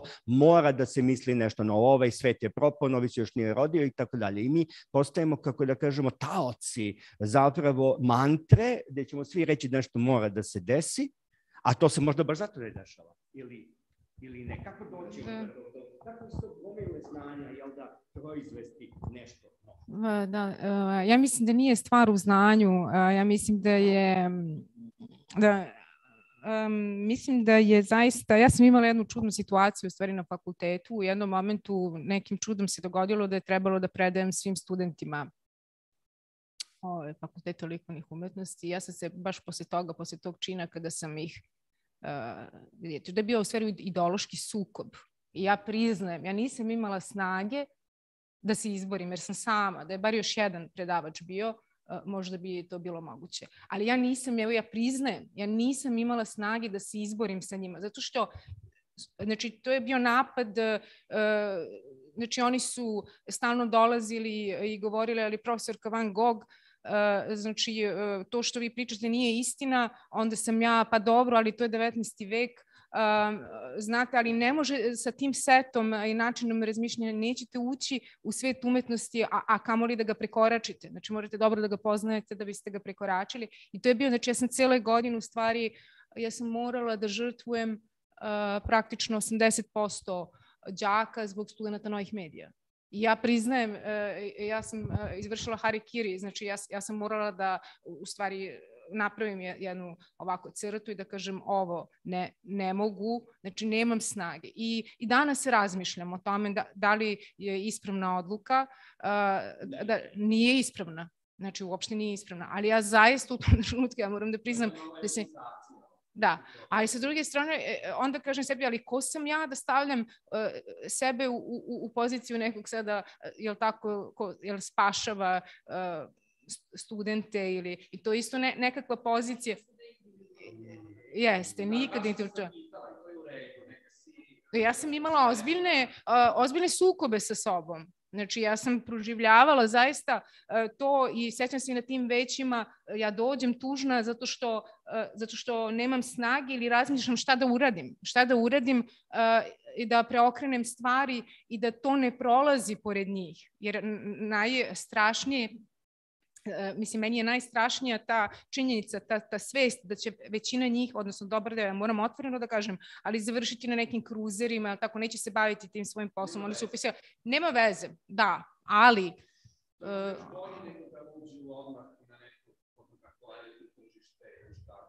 da, ali oni su svi upisali zato što žele da se bave, što žele time da se... Da. Jeste, slažem se, ali svet umetnosti je surov. Znači, ako se ne bavite, na primjer, pet godina ili ne znam koliko napravite pauzu, više vas niko ne precipira kao umetnika, kako god. Znači, ne, svet umetnosti. Ne, ali ja ne zastupam, mislim, ako ti kaže, ja se slažem. ali um, njima je teško da se vrate. Znači, uh, svako ko napravi nekakav prekid u svojoj karijeri, kapitalizam je prosto takav, surov je. E, teško se vraća, ne pruža mu se prilika. Svi pitaju gde ti je portfolio, gde ti je rad. Znači, mislim, evo neka Branko kaže. Evo, evo ja, ću da, ja ću da sad prepustim, evo prota. Da. Ne, ne, ne, ne, vrati mi, vrati mi posle nešto da ti. Meni je... Ne, daj, pa, komentar je dobar, ja volim živ razgovor, bolje da, bolje da... Ja sam, ali to je stvarno bila jedna situacija. Šteta što nema svi mikrofon, pa bi to onda moglo da se ovako malo ovaj, Da, to je, to je bila polemika na veću, oni negde razumeju da je teorija nešto važno, mislim, ja sad uh, govorim, ne govorim sa svoje pozicije, uh, ja tu uočavam brojne probleme, ja sam isto tu, to je strukturalna pozicija i uh, ja isto tako, ja sam trudim se da ne, da ne reprodukujem, ali postoji taj moment samo prispitivanja uvek, znači sobstvene, sobstvene nekakve prakse, mišljenja i, i rada unutar te institucije, ali da, znači taj moment kada sam ja to uradilo je bio strašan moment. Uh, naravno, nikom, nikome se nisam požalila, ali sam nekako to proživljavala teško i eto, sad dobar deo, uh, znači samo studenti novih medija imaju ovaj program, ostali studenti nemaju a trebalo bi da imaju. Znači, jer uh, znači, od njih se... Ne, ja mislim da bi trebalo da imaju pored svega ostalo. Znači, da im se ponudi ta mogućnost. Znači, ne u smislu nekakvog instruktivnog nametanja, ali da mogu da kreju. Ne da, ne, mi, imamo, mi ovde imamo uh, često tu situaciju da neko, znači, jer to, to su sad unutar svetova umetnosti, kao što sam rekla, postoje različiti svetovi. I sada neki svet umetnosti, ja neću sada da imenujem, o, ne, znači postoji sad svet nekakav u, kome postoje neki akteri koji reprodukuju određeni set vrednosti. Oni kažu ne to, nemoj slučajno to, to ti ne treba, to guši kreativnost, e, guši, e, e, ne znam, ne, nećeš biti umetnik, mislim, ili, znači nemoj slučajno da, da zalaziš u to polje jer to će te uništiti. Znači to su, eto, to su ti, ti nekakvi govori, diskursi, a, a onda ja na kraju postajem isto to, zato što im kažem, e, vi ništa ne znate, ajde, izlazite, studenti novih medija, ovi ostali zdravo, vidimo se i, ove, i onda sam ja praktično isto to, znači ja sam znači, preuzela isto tu poziciju i to je ono što je mene, mislim i dan danas moram da priznam da, da me muči ta moja odluka. Ja bih volila, evo Branko, znači ja bih volila da postoji još jedna pozicija, da mi neko pomogne, pa nekako da se omogući prosto studentima da, da ovaj, razne uh, uh, razne predmete, da, da jednostavno da postoji nekakva ja bih rekla, direktno demokratski orijentisana, orijentisan pristup. Znači, zašto ne? Neka proba, jel tako? Neka vidiš o čemu se, znači neka vrsta otvorenosti. E, hvala, hvala Bojna, ne, apsolutno, ja, ovaj, i dobro je da se malo, kako da kažem, ovaj, razgovor, uh, šteta što zbog ovog mikrofona ne možemo da malo upadamo više jedno drugom u reč, nego moram tako da dajem reč, ovaj, oduzimam tako dalje. Ovaj, proto, osim što otvara mogućnost da imaš i još ne, nekakav komentar i imao si već neke komentare možda na ovu temu je Bojana govorila, e, ja ću te još i konkretno zaista pitati da kažem uozbiljemo ovu stvar bez obzira na to što, kako da kažem, i tvoj nastup ovde ovaj, je neka vrsta prezentacije jednog postupka jel da, koji vi praktikujete da pokušaš da, nas, da nam objasniš, da ovim ljudima objasniš šta bi bio taj metod koji grupa Škart ima, da li je to neka vrsta antimetoda u tom nekom rabenskom smislu, ili je to zaista neka vrsta metoda rada sa tim ljudima koji Jel da, za razliku od Bojene, koja je umetnike ili nekog ko treba participira u svetu umetnosti, a vi se bavite zapravo, kako da kažemo, nekakvom uticajem nekakve emancipatorske procese unutar miljeja koji svakako verovatno ne stvaraju umetnike, ali stvaraju, kako da kažem, neke ljude, jel, koji ovaj, treba da u društvu žive. Hvala Branko. Uh, ja bih citirao uh, drugaricu iz Migrative Arta Ivanu Momčilović, povodom 25. razloga, jedan drugi imao neke emotivne probleme uh, i uh, devojka u kojoj je bio zaljubljen je, mislim, imala neke druge udvarače, da, da je bilo tako neka situacija. I onda je ona rekla divnu stvar, šta se guraš tamo gde je tesno? I e, sad, to izgledalo banalno, što se guraš tamo gde je tesno, međutim, stvarno, e, taj moj drug godinama, decenijama posle toga citira e, tu njenu sjajnu izjavu i to može da bude jedan tak, zapravo mali manifest tog rada i upravo kontra tih, e, kao što si zapravo u kontekstu fakulteta spomenula tu magičnu reč karijera i tako dalje i tako dalje. Potpuno nebitno. Dakle, ne gurajmo se tamo gde je tesno odnosno uh, uh, uh, treba prepoznati prostore gde, gde možeš da primeniš svoju praksu. Ili, opet i to je sebično, možda je tvoja praksa potpuno pogrešna i potpuno je retrogradna i tako dalje.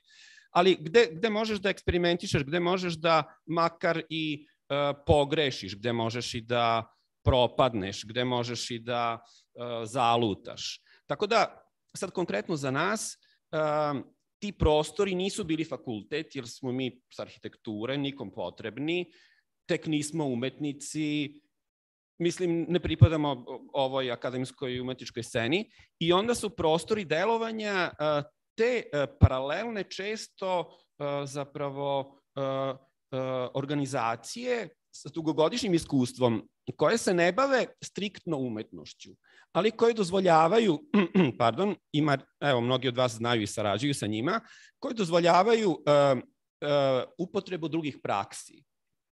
Konkretno, žene u crnom, konkretno Savez antifašista, evo Tanja je bila sa njima, konkretno Stanica, konkretno grupa 484 koja radi na alternativnoj edukaciji. I ona se zapravo bavi na sjajan način okupljanjem uh, raznoraznih glasova uh, kontrakulture, alternativne edukacije i tako dalje, koji se terenski, što je jako važno, znači opet to nije ni to guranje u Beogradu koje je, u kom je već tesno, nego gde, koji se terenski bave edukacijom edukatora. I to je jako bitno. Dakle, ono što Branko kaže šta se dešava na faksu, bilo bi divno da ti svojim kolegama napraviš jedno takvo uh, pomalo uh, spočitavanje. Kao, pa dobro, pa zar... Jer, evo, mislim, vaša direktorka doskorašnja Pa znam, zato i kažem, zato i kažem, uh, bilo bi sjajno da, da, da, da, da, da i oni budu spremni na tu edukaciju edukatora. Dakle, mnogi nastavnici, profesori, edukatori, e, slažem se, u Srbiji su spremni. Dakle, ne moramo možda da idemo striktno iz Beograda, ajmo, i tako da, evo, u saradnji sa ovim grupama odgovor na Brankovo pitanje, to su te strategije. Strategije neguranja tamo gde je tesno za početak, možemo doći posle i do njih, pa ćemo i njih izgurati ako treba. Mislim, sve jedno. Strategija malih koraka, ali e, prostor postoji. I uopšte nije pitanje ni vremena, ni karijere, niti slušanja bilo čijih saveta, jer su uvek ti e, tetkinsko-stričevski saveti najpogubniji za, za, za bilo koga. Dakle, apsolutno e, nisu važni. I onda ove druge prakse zapravo e, su, e, Marijana je lepo rekla, one su često nevidljive. I na to treba biti spreman, da si nevidljiv godinama, da si nevidljiv decenijama pa evo, kolege među nama rade slične stvari uh, i baš sam nedavno spomenuo divnu praksu koleginice Vahide Krpež. Dakle, okupljanje i krpljenje uh, probušanih čarapa. Uz jedan ozbiljan razgovor na razne političke teme i negde, naravno, svađu i, i, i konfrontaciju, ali to je jedan, uh, to je jedan ozbiljan politički kružok. Znači, krpež kao forma. I sad, kome god sam spomenuo krpež, svi kažu genijalno, genijalno, genijalno. Naravno, za krpež niko nije čuo i on je bio tri i po puta i on se već raspao.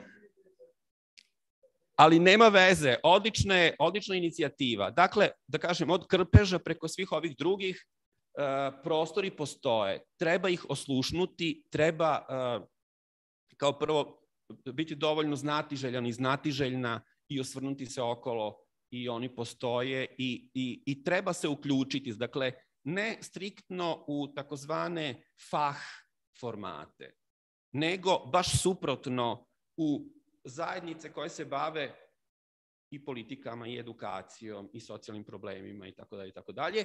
I tu zapravo zajedno sa njima, ono što ponavljam, što smo negde naučili u dosadašnjoj praksi, nismo ni mi znali od početka, ali evo, postojimo već pola veka, pa, pa smo nešto i saznali. Dakle, tu svoju znatiželju i, i, i, i, i stalnu promenu umetničke forme. Znači, biti spreman na to da, da ti nisi samo arhitekta ili slikarka ili novi, no, novi medijalista. Kako zovu ove sa novih medija? Novo medici, no, no, novi medici, novo medici.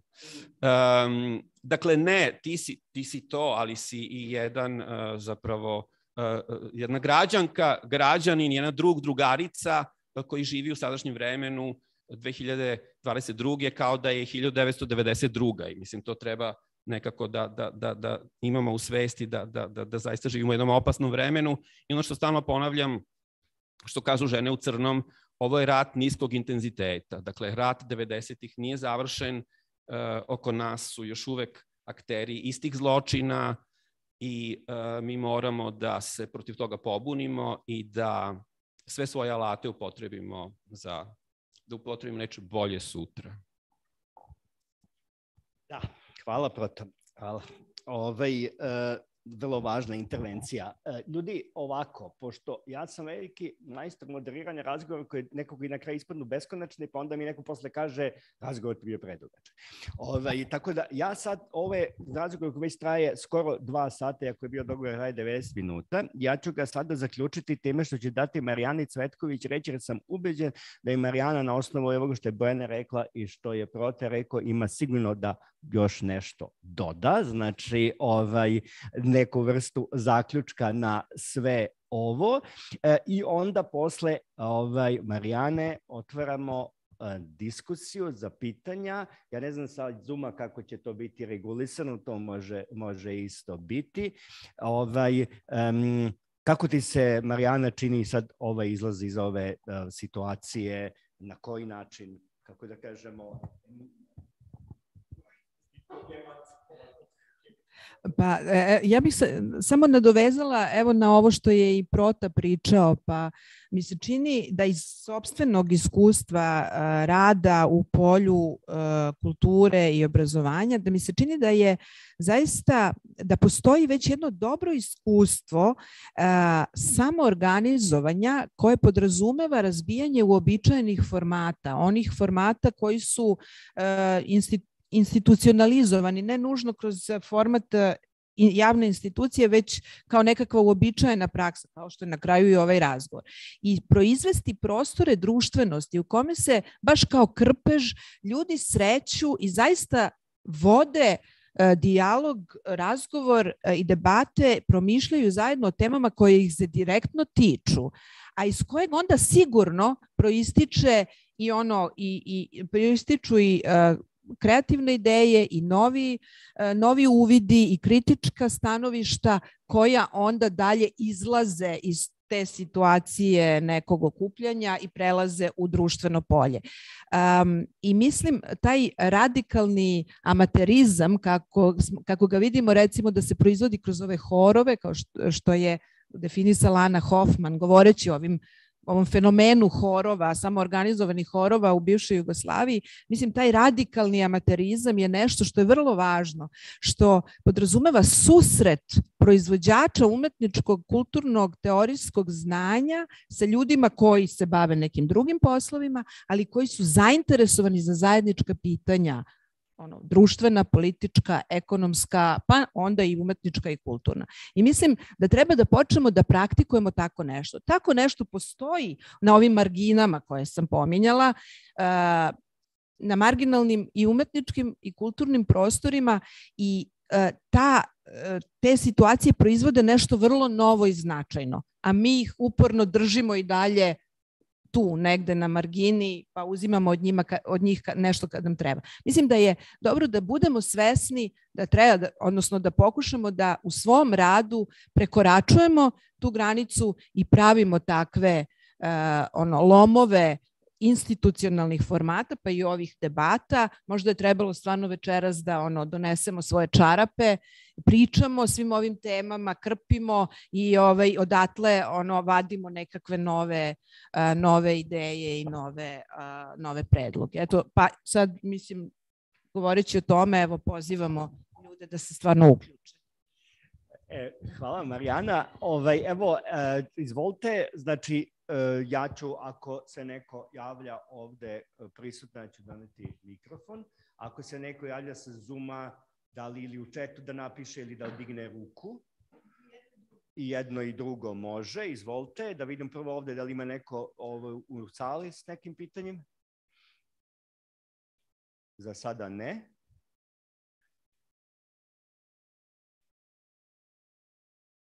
Iz publike. Pa dobro, potrajalo je, pa onda to malo dok se ovaj, ako ima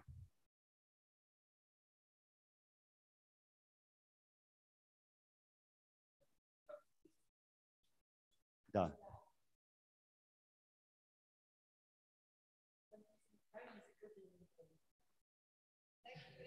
Kad bude to tako, možemo svi zajedno da krpimo, sad idemo krpimo ulaz. Jel da, ako je veliki a mi sedimo i krpimo. Čekaj, nemamo ulaz.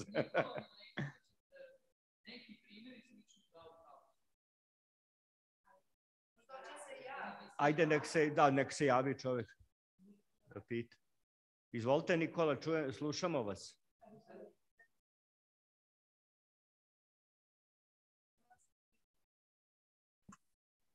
E, se čujemo? Zdravo, zdravo. Da, čujemo vas, vidjet ćemo, malo se mutite, ali... A me čujete ili? Slušam. Da, pa samo ime... Uh... Se prekidate, malo se prekidate. Možda bolje da kucam. Mo, možda bolje da ukucate, pošto... A? A već sam ukucao. Aj, sad se čuje, aj, sad se čuje, izvolite. Aha, aha. E, pa, uh, mislim, da sam smišao, bilo bi još nekih, ali nešto što je spomenuto. Uh, uh, Bojana Matić, skroz levo, tako da nisam pogrešio. Yes. Uh, spomenula je, em čujete? Čujemo. Da.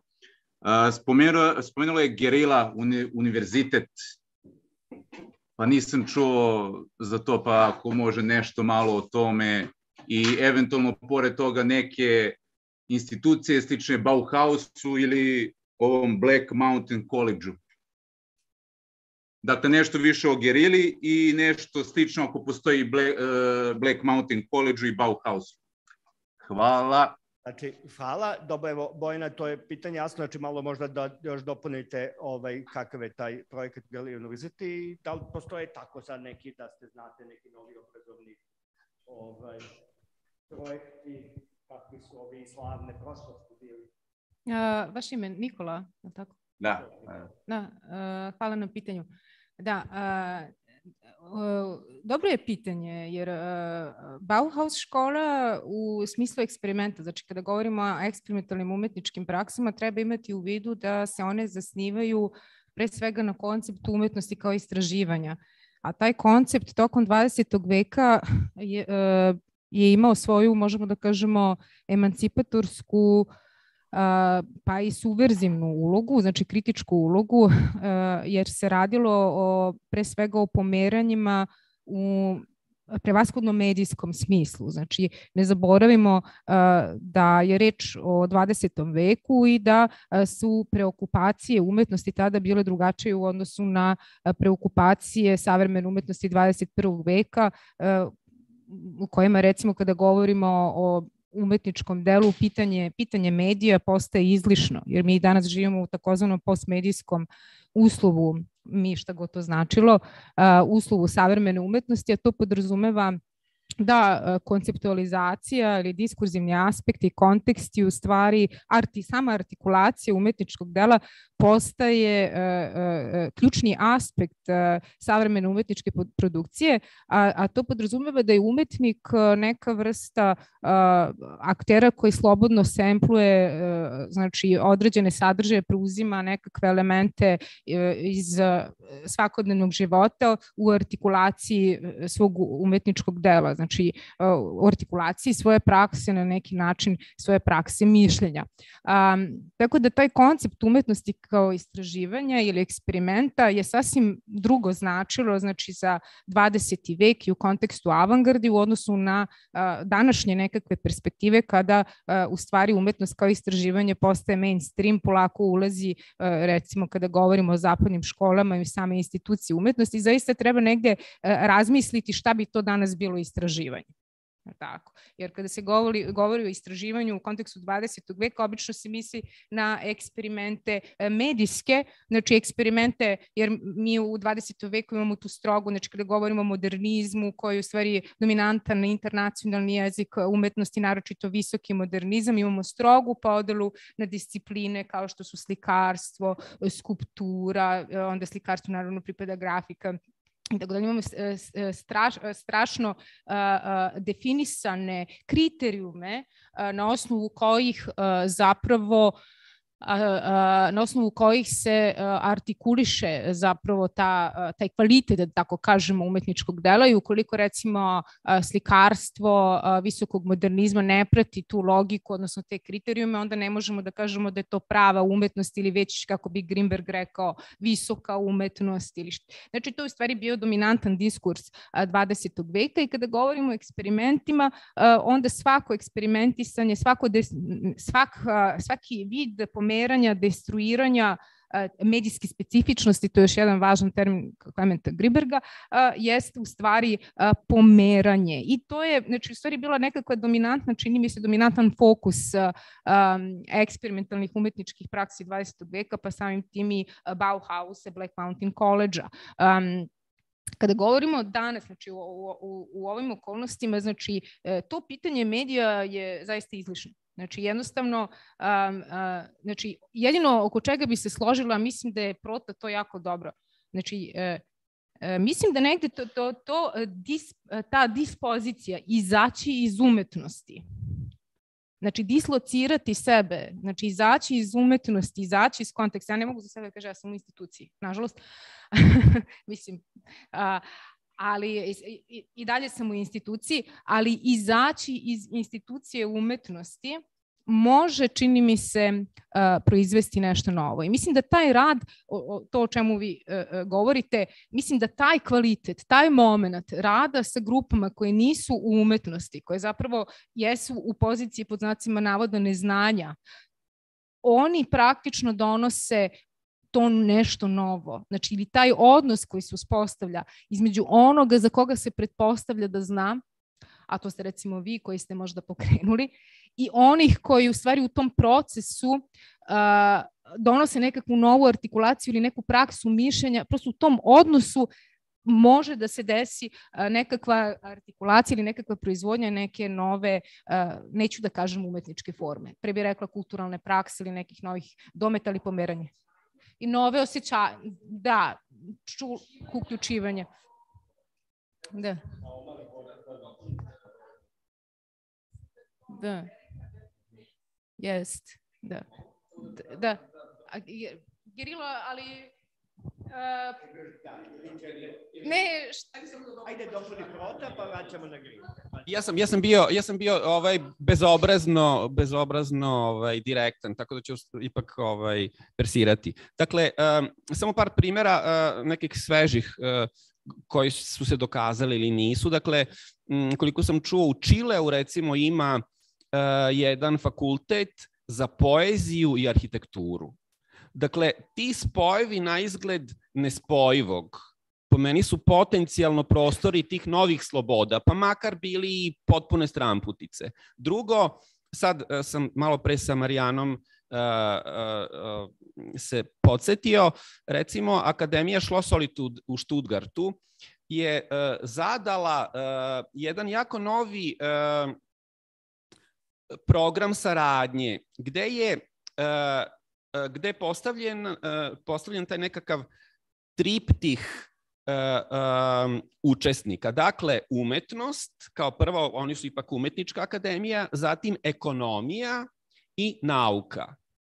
Dakle, spoj tih različitih praksi u neku, eto, mislim za početak, makar inicijativu, koja će sad, ono i o čemu je Bojana pričala, i stalno sad spominjemo sve te razne forme kapitalizama i tako dalje, e, koje, kojima jesmo žrtva i kojima, eto, ovaj, e, na šta, na šta tako slepo pristajemo. Da, ali ajde onda da vidimo šta ti ekonomisti kažu, da li oni mogu da možda naprave neki subverzivni iskorak i da, i da e, kroz umetničku praksu ili, ili umetnost, kroz neku ekonomsku praksu dođe do nekih novih rezultata. Naravno i tu je nauka kojoj beskrajno umetnost pomaže u nekoj novoj komunikaciji sa stvarnošću, u nekim novim rezultatima. I zbog toga recimo odličan primer, sad ću da završim, naš centar za, za, za promociju nauke, koji takođe sarađuje sa, različiti, sa različitim umetnicima i uh,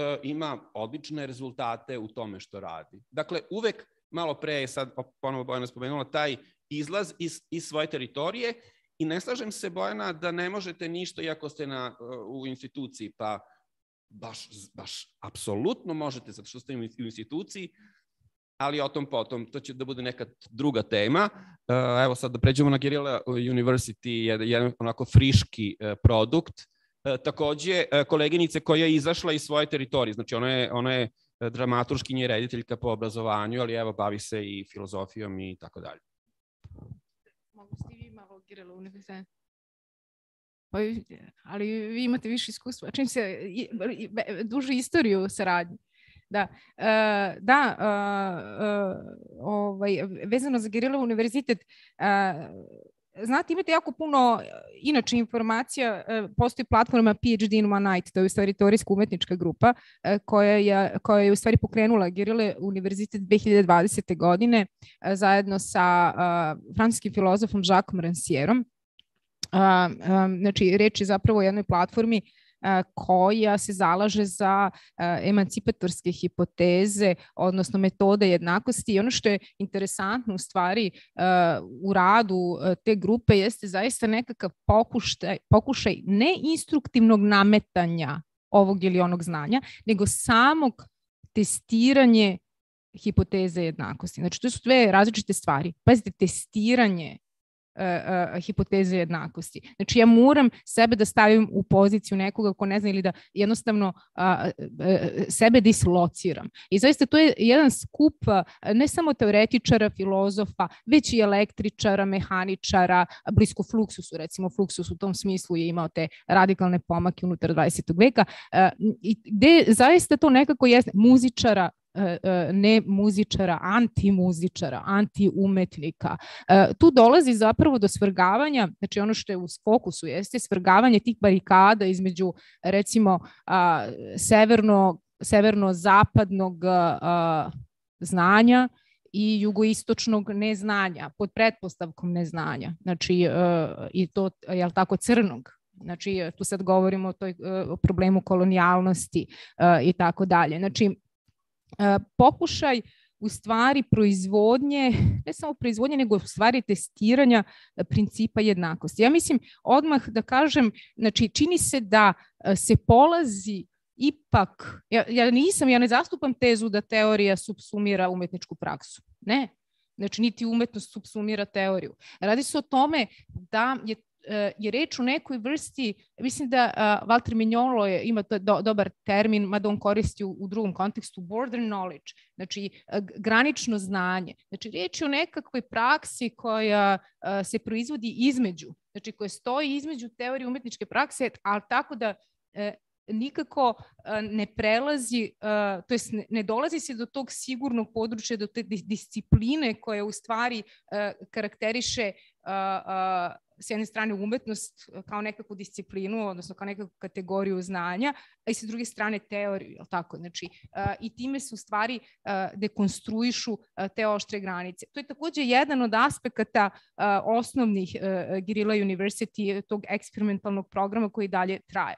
Ono što je jako važno, čini mi se, ja bih zaista da, da, da podcrtam nekako tu dimenziju. To je ta aktivistička politička dimenzija ovog projekta. Znate, postoji taj Rožava univerzitet, mi smo na konferenciji. Ja, ja moram da priznam, ja sam se zaista, ja sam tada malo više informisala o tome. Znači, Rožava univerzitet koji je osnovan 2016. godine, uh, znači u Siriji, uh, i uh, znači, kurdskoj teritoriji, da, uh, znači, jedan specifičan univerzitet i studenti u stvari učestvuju u akciji sađanja 4 miliona stabala uh, u predelima koji su oštećeni Uh, znači uh, posledice, to su posledice rata, ratnog stanja. Pa, znači taj aktivizam politički, znači mi nismo sad, tako ško, funkcija škole između ostalog nije samo da mislim, a jeste obično jel, da obrazuje, da osposobi, to jeste nekakva osnovna funkcija, te pojedince da se bave tim nekakvim poslom na, po znacima navoda na tržištu, ali ne, znači ovo u duhu Jozefa Bojsa koji je svoj umetnički rad, nazovimo, znači uslovno rečeno, on nije odvajao svoj umetnički rad od, od svog aktivizma odnosno pedagoške funkcije. Znači, njegov govor, njegov, njegove akcije na univerzitetu u Dizeldorfu su stvari to je bio praktično performans, znači tada u stvari ali akcija, znači to, to su bile politički, politički aktivizmi i on to nije odvajao od umetničke produkcije. Znači, to su stvari bili site specific, site specific intervencije. Tako da hoću da kažem da Uh, mislim, ja sam sad proširila temu, ali uh, Girilov univerzitet zaista otvara različita, različita polja. Znači, nije reč o samo eksperimentu, o nekakvom daleko od toga medijskom smislu koja je karakteristična recimo za Bauhaus i Black Mountain College. Ne, uh, radi se zapravo o pokušaju testiranja principa jednakosti koji u velikoj meri polazi sa stanovišta Žaka Ransijera, iako teorija, odmah naglašavam, ne sumira zato što je reč o testiranju, ne subsumira umetničku produkciju i u tome leži stravičan inače doprinos Žaka Ransijera kritičkoj teoriji, zato što zaista kada se govori o kritičkoj teoriji, postavlja se pitanje koja je osnovna pretpostavka kritičke teorije? Koja je normativna osnova? Jer, jer tako, znači mora da postoji neka istina ili nešto, nekakav vrednostni sistem sa koga ja tvrdim Uh, jer tako sa koga ja kritikujem. Znači, kritika je uvek, što bi teorija rekla, uh, proizvod odnosa moći. I u tome leži doprinos, ja bih rekla, između ostalog, Žaka Ransijera i um, između ostalog i same te grupe PhD in One Night koja pokušava da testira uh, tu hipotezu. Nadam se da sam sve aspekte uh, tog univerziteta dotakla, možda bi Prota mogao da doda ili Marijana nešto sa konferencije ako smo Znači, ta, taj moment dekolonijalizacije univerziteta, odnosno znanja, jeste isto nešto što je, ja sam već pomenula, primer toga, jeste nešto što je, što treba uvesti i ovde takođe pokušati, znači, artikulisati to pitanje rasizma i uh, dakle, na našim univerzitetima u neformalnom obrazovanju i tako dalje. Hvala Bojana. zapravo zainteresovani za Guerrilla University, PhD One Night i tako dalje, neko ostave neki svoj kontakt pa ćemo ih direktno povezati sa njima. E, dobili su, da, zato što su oni zapravo, oni funkcionišu u, u, u online uh, formi i krajnje su otvoreni za, za sve saradnice i saradnike. Ja vidim da je ovde uh, neko postavio pitanje da, odnosno ko, konstatovao da smo ko, definisali neke probleme, a koja su rešenja. Naravno, mi rešenja ovaj, ne možemo dati, ali um, tela sam da kažem da je jedan od načina dekolonijalizacije univerziteta, institucije obrazovanja takođe i prihvatanje činjenice da postoji jako mnogo neformalnih obrazovnih programa i platformi koje zapravo na suštinski način dotiču sva ova pitanja i stvaraju specifični prostor i atmosferu u kojoj kroz e, zajedničke debate, promišljanja, zajednički rad zapravo moguće doći do možda nekih rešenja na sva ova pitanja. E, ne postoje velike institucije kao što tu neko pita koje bi mogle biti modeli ovog idealnog obrazovanja za 21. vek. Ja ne znam da tako nešto postoji i mislim da tako nešto nije ni moguće u institucionalnom kontekstu, ali zato postoje ogromni prostori koji su to prostori eksperimenta, slobodnog mišljenja, zajedničkog rada, samoorganizovanja, koji su jednako relevantni. Znači, to je ta de kolonijalizacija obrazovanja. Nije relevantno znanje a, i izvor znanja samo u instituciji univerziteta, fakulteta, škole. Ono se nalazi i na mnogim drugim mestima, na mestima koje su oko nas, od kojih smo neke i pomenuli, a koji proizvode to ključno epistemološ, taj ključni epistemološki preobražaj pojma znanja, šta je znanje, kako se proizvodi i čemu ono služi u, u, u kontekstu nekakve uže ili šire zajednice. Tako da um, i u našoj sredini ima puno takvih po meni je, na primjer, ULUS jedna od takvih platformi neformalnog obrazovanja, ne kao jedna monolitna celina, nego kao jedna dinamična zajednica koja u skladu sa potrebama otvara mikro prostore samoobrazovanja uh, uključuje različite ljude, uključuje različite uh, veštine uh, koje služe onda proizvodnji zajednice koja ima smisla, u kojoj, se, u kojoj svi mogu da pronađu neko svoje mesto i koja proizvodi jel, i jedan drugačiji način demokratskog uključivanja, odlučivanja, promišljanja i donošenja nekih odluka. Takvih prostora ima mnogo i uh, zapravo je možda za zanimljivo da i ljudi koji su, ili da kažemo studenti na fakultetu, na umetničkim fakultetima, kao i oni koji su mladi umetnici, zapravo otvore malo počnu da gledaju na te prilike na drugačiji način, kao prilike za obrazovanje, ne samo kao ne samo fakultete kao neke e, institucije koje nude znanje. Uh, hvala. Marijana, uh, uh, slažem se. Ja bih kao eto potencijalno rešenje imao par možda nefunkcionalnih predloga. Dakle, kao što smo pogubno uspeli da uvedemo veronauku 2003. godine u obavezno osnovnoškolsko obrazovanje, ili koje godine, više se ne sjećam koje, Dobro, eto, mislim do čega nas je to dovelo, između ostalog.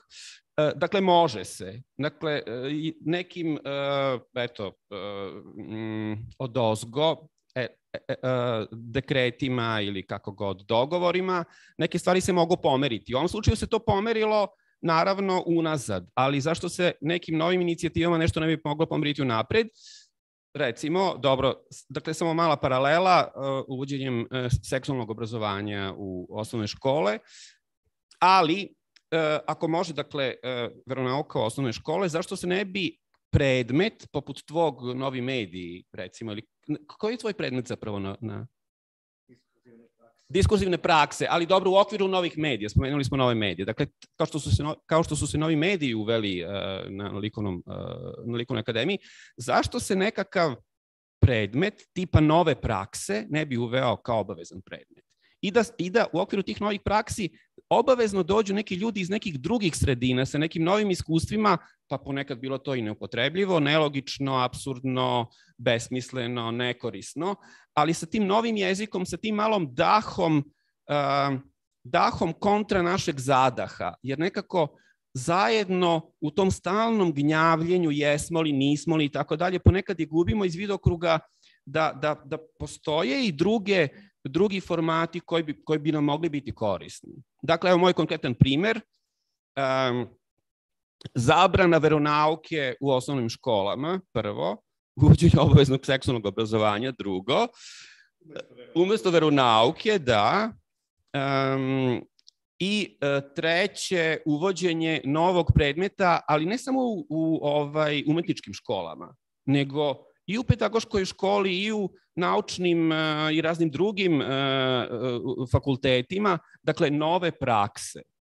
I onda kroz to zapravo zavirivati, podrivati, osluškivati, ali i učiti od drugih iskustava. E, ovaj razgovor je sad poprimio jednu dimenziju koja meni jako godi, a to je na to čuveno pitanje, jel da probleme ste locirali, ali nemate odgovore na to. Ovde, boga mi, imamo vrlo ozbiljne predloge.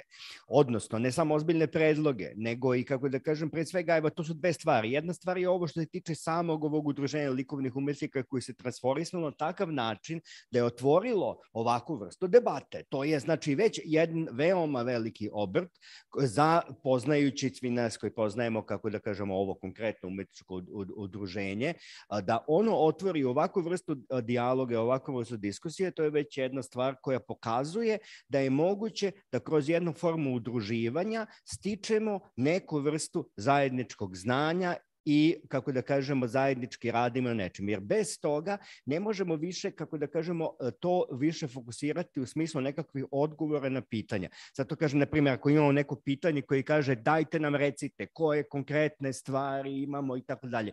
E, to nisu verovatno pitanja od kojih mi možemo da nastavimo kreativan razgovor. Zašto? Zato što su to pitanja, odnosno problemi do koji treba zajedno da dođemo. Ko, ako ne mi? Zašto bi mi rekli, pa imate, ne znam, u Izraelu ili Čileu ili negde jedan takav primjer, pa kažem, idi ti u Čile ako hoćeš. Zašto ne bismo mi, zašto nije ovo mesto gde se mogu početi i kreirati takve stvari? To je jedna stvar, znači što se neko delovanje od ozdo kroz udruženja, a drugo je, naravno, taj politički pritisak. Pritisak na donosioce političkih odluka, pritisak na ovaj obrazovnu politiku sa nekakvim konkretnim, kako da kažemo, predlozima i koji mogu da usmere upravo ono o čemu ja mislim ovaj razgovor jeste bio, da obrazovanje e, ovaj, jel da, u umetnosti nije samo kako da kažemo, pitanje obrazovanja, umrazanja umetnika ili nekoga ko će se time karijerno profesionalno baviti, nego jedna, kako da kažemo, opšte društvena potreba, jedna, jedna emancipatorka opšte društvena potreba koja, kako da kažem, mora ući u sistem, jer bez toga, kako da kažem, ovaj obrazovni sistem će upravo funkcionisati isključivo u funkciji um, um, onoga što se tada u kom pravcu svetu ide za ta priča dualnom obrazovanju i tako dalje, znači zapravo samo funkcionalnog znanja, kako da kažemo, u smislu nekakvog instrumentalnog razuma koji onda zapravo sužava prostor slobode, ako mogu baš tako nešto, kako da kažemo, otrcano da kažem, ali kaže, možemo duboko u tome da to, to da verujem, ja sa Bernard mi delimo ovaj, to. Ljudi, sada je zaista možda trenutak ukoliko nema nekakvih pitanja koje su konkretne, urgentna i ukoliko naši sagovornici nemaju nešto kratko još da dodaju, ovo je, mislim da je ovaj format zadovoljio svoju ovaj funkciju, meni je bilo vrlo prijetno. Veliko hvala Bojana Proto, Marijana. Vidi, šta, šta, šta? A ima. E, ubićeš me zbog ovoga, zato što tebi to stalno ponavljam. Uh, Ovaj, pošto sviđa mi se kako je Prota dao konkretne predloge koji se zapravo tiču onog osnovnog obrazovanja, dakle onog nekog najranijeg. Mislim da je to dobar, uh, dobra pozicija, mora se početi odatle. Uh, I evo ja bi se nadovezala sa još ne, dva predloga. Prvi predlog je da na muzičkom obrazovanju deca počnu da slušaju muziku, pošto verovali ili ne, na muzičkom u 90% slučajeva deca ne slušaju muziku, nego im se priča neka teorija, ne, ne, nešto što zapravo ništa nema nikakvog smisla.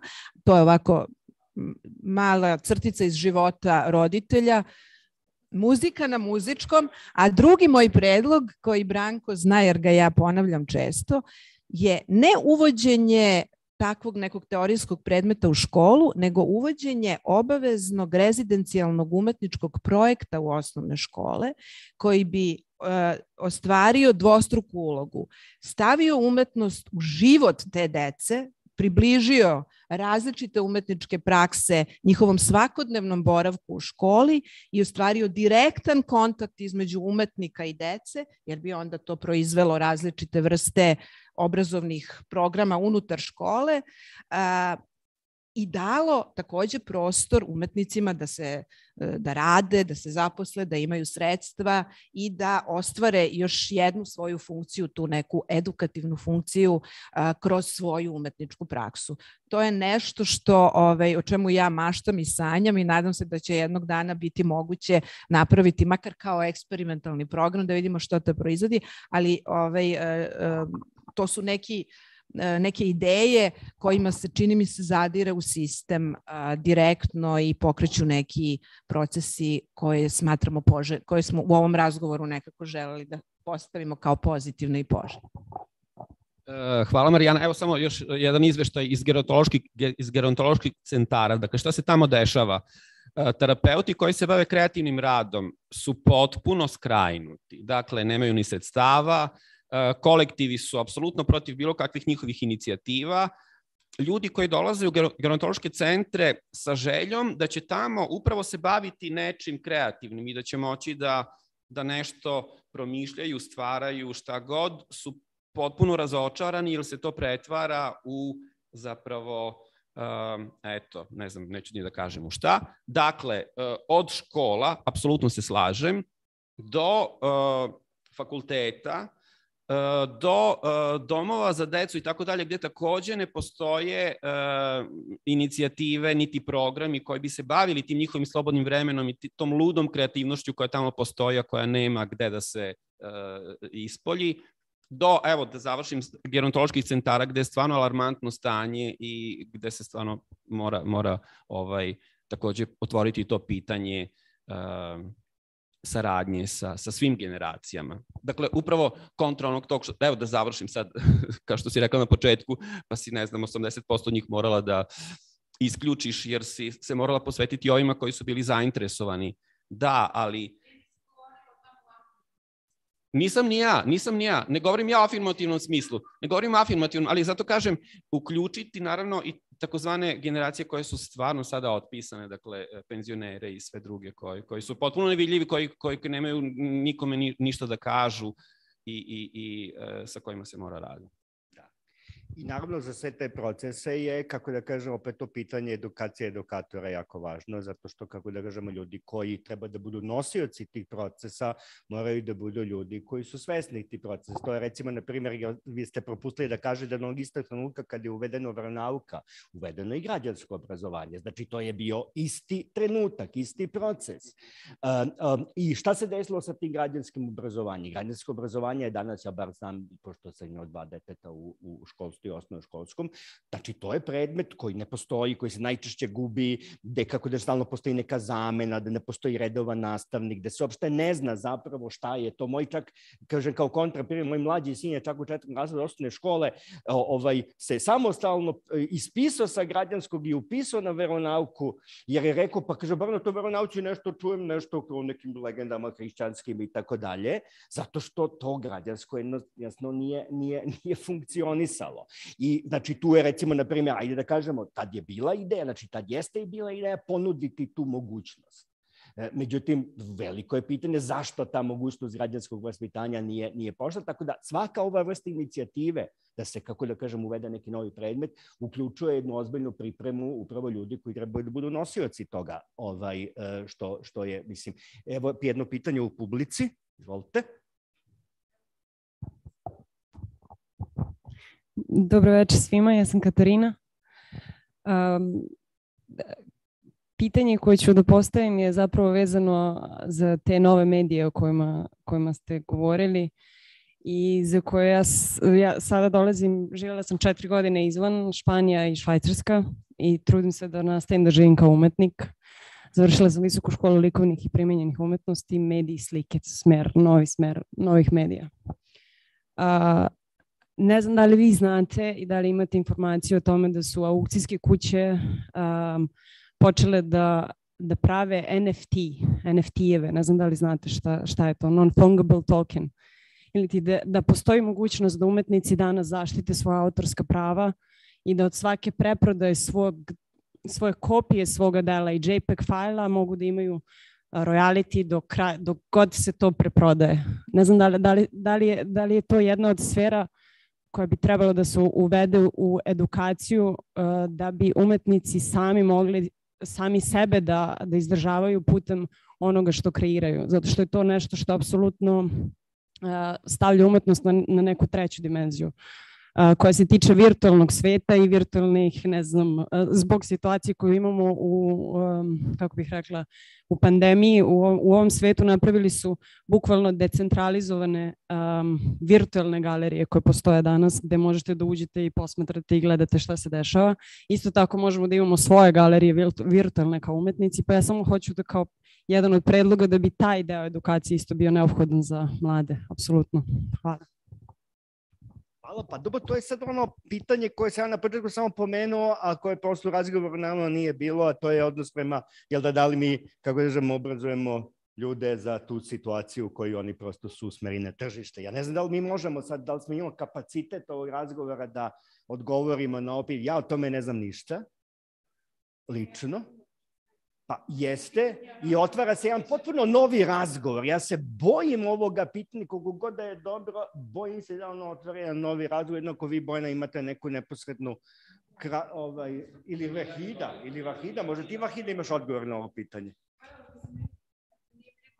Ovaj, protiv u jednom trenutku uh, pomenuo uh, moguću relaciju između umetnosti i ekonomije. Ja mislim da danas u svetu gde su apsolutno svi odnosi dominirani ekonomskim relacijama kao tržišnim, a, mi moramo jednostavno svi da znamo ekonomiju i nešto što bi zaista bilo dobro je da u, u ekonomiji postoji malo više umetnosti. E, mislim, mi imamo u, kao u grupi Mini Pogon jedno višegodišnje iskustvo, kako kažem, gde smo se baš bavili u stvari kada je Bojana pomenula pitanje jednakosti. Mi smo pošli od pretpostavke da ne postoji jednakost bez ekonomske jednakosti. Mislim, danas, ne, nemoguće, ne možemo da pričamo o drugom nivou jednakosti. Onda smo ušli u jedan tako eksperiment, e, radili smo više od godinu dana u ovaj, e, migrantsko, izbegličkom kampu i tako dalje i tako dalje. Ali mislim to je bilo kao neki pokušaj da na kraju vidimo u stvari koliko je to teško da se proizvede, ali jeste kao postojala ta namera, kao kažem. Hvala Vahida. E, Tanja, aha, komentar samo, e, Kristina Ristić, Samo bih dodala još jedan argument za pokretanje inicijative za nov predmet osnovnim školama. Tu negde kada je uvedena veronauka, likovna kultura je umesto dva časa u 5. i 6. 7. razreda dobila jedan čas likovnog. Ok bilo da likovno ima dva časa. Eto, to je isto jedan konkretan, znači ja se poboljša fonda ovaj časova iz takozvanog likovnog obrazovanja koji se dalje zove likovno obrazovanje, možda i to ime treba kako da kažem takođe razmisliti ovaj da li je to odgovarajući, da li je to zaista odgovarajući eh, naziv za ono što bi bile potrebe, jel da, ili ovaj toga. Tanja, izvoli. A u vezi. To će se, sve može da se promeni, jel tako? E, u vezi sa ovim što je pomenula Marijana sa muzičkim obrazovanjem i moje iskustvo kao mama e, devojčice koja ide u šesti razred u nekim školama, možda zavisi od obrazovanja onih koji predaju likovno obrazovanje, deca se ne bave crtanjem i slikanjem, nego uče teoriju, šta je linija, šta je ovo, šta je ono. Naše škole su generalno opterećene Sad mi je žao što to govorim Bojana pred vama, jer ja sam apsolutno za uvođenje diskurzivnih praksi i mislim da umetnicima to može samo da pomogne da shvate u kom svetu žive i da se povežu sa tim znanjem koji im deluje kao potreban mi je kustos teoretične umetnosti da mi objasni šta ja to radim, što više za savremenog umetnika ne može da važi, mora nekako sam da reflektuje šta on to radi, da se smesti u taj teorijski politički kontekst. Ali za devojčicu od 12 godina uh, ne dati joj uh, šansu da razvije veštine, likovne igre, ako ništa drugo, pismenosti, da shvati šta je boja, nego je terati da na svo to bubanje koje imaju iz drugih predmeta i čime su naše škole apsolutno opterećene, sve je zasnovano na memoriji, Znači, redko gde imate šansu da se učite spontanom razmišljanju, greškama, da se opustite, da ne morate da budete savršeni. Naše škole osnovne deluju kao poligon za razvoj obsesivno-kompulzivnog poremećaja kod dece. I sada to likovno ili fizičko ili muzičko, što je bar u naše vreme bio neki odmor od tog obsesivno-kompulzivnog, se ukida i kao šta je linija, šta je boja, šta je valer, mama dobila sam jedan iz likovnog, nisam stigla da naučim. A to možda zavisi od toga da li to likovno predaje likovni umetnik ili istoričar umetnosti. Ne, neću ništa sam. ja samo, ja samo da dodam, znači moram da priznam da osnovno obrazovanje nije, nije, nije u mom fokusu, mislim jednostavno ovaj, nisam se bavila time, ali mislim da to nije pitanje, u stvari za mene, ja mislim da to pitanje nije pitanje teorije ili pitanje umetničke prakse, nego pitanje metoda. Znači nešto nije u redu, koje mi to metode pedagoške koristimo a, u obrazovanju, znači postoje različite metode. Znači to je u stvari pitanje za pedagoško-andragoške nauke, tako, koje metode uh, treba raditi na metodama. Zašto bi teorija bilo nešto, uh, nešto teško, a, a, sad uh, umetnost neko polje slobode i kreativnosti. Ja mislim da je to ta podela Uh, još jedan od dominantnih diskursa koji proizvodi između ostalog i modernizam i ošte istorija uh, jednog takvog mišljenja. Tako da to ne mora da bude tako. Mislim da i ove eksperimentalne škole jesu uspešni primjeri toga zato što tu u stvari ta uh, bifurkacija, da tako kažemo, između umetnosti i teorije uh, jeste bila uspešna. Mislim, gledate Klea ili uh, Kandinsko, znači oni su pisali u onome što su radili, ali tako, znači njihovo slikarstvo, znači je pratilo čak i u okviru uh, jednog takvog, jedne takve umetničke proizvodnje. Sad možemo da kažemo da to je teško, ali mislim e, umetnost je odavno izgubila svoju samoreferentnost, znači postoji taj moment. E sad, ali kako se pristupa tome, znači kakve su metode, kako se to plasira, to znanje, e to je već nešto drugo. Znači, e, to je sad pitanje a, samog tog aktera koji učestvuje u obrazovnom procesu. Znači, izumeti nove metode, a, prenosa, odnosno distribucije znanja, ja mislim da je to znači, dobro pitanje i za mene, ali e, naročito je pitanje za Uh, uh, naučnike, kustose, to, mislim ne kustose, aktere koje se bave, uh, či, čije je područje rada pedagoško-andragoške nauke. Znači, znači, koje su to metode, jel tako? Naravno, znači, da, da komunikacija između svih ovih disciplina ostali postoji, ali ja mislim da je to problem metode, a ne problem teorije kao nečega što je suvoparno i uh, nečega, evo tu je moja studenkinja, u, zdravo Aja, Aja uh, može nešto da kaže recimo o diskurzivnim praksama, ka, o, o, o iskustvu. Mislim, ne bih sad da vas pozivala, možda vam je neprijatno, ali da li vam je suvoparno ovaj, na, na, na diskurzivnim praksama umetnosti i medija? Da li, da, li, da li doživljavate to kao nešto teško?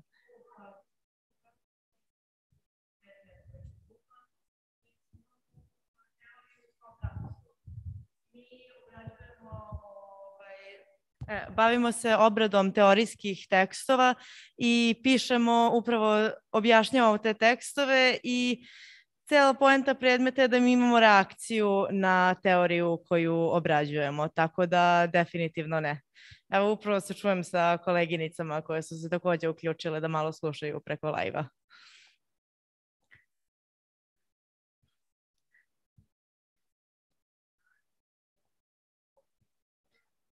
Da, upravo imamo isto i gomilu ovaj, radionica gde se upravo razbija to odnos između profesora i studenta, već se svi jednako uključujemo u diskusiju. Moja kritika odnosila se na osnovnoškolski nivo, a što se tiče visokog školstva, mislim da tu nedostaje teorije. A na osnovnoškolskom nivou da nekako ne prati psihološki razvoj i šta na kom uzrastu ko može da savlada nego se u osnovnoj školi zahteva da oni već misle konceptualno, da nemaju praksu i da ne razumiju šta li čemu to mišljenje treba služi.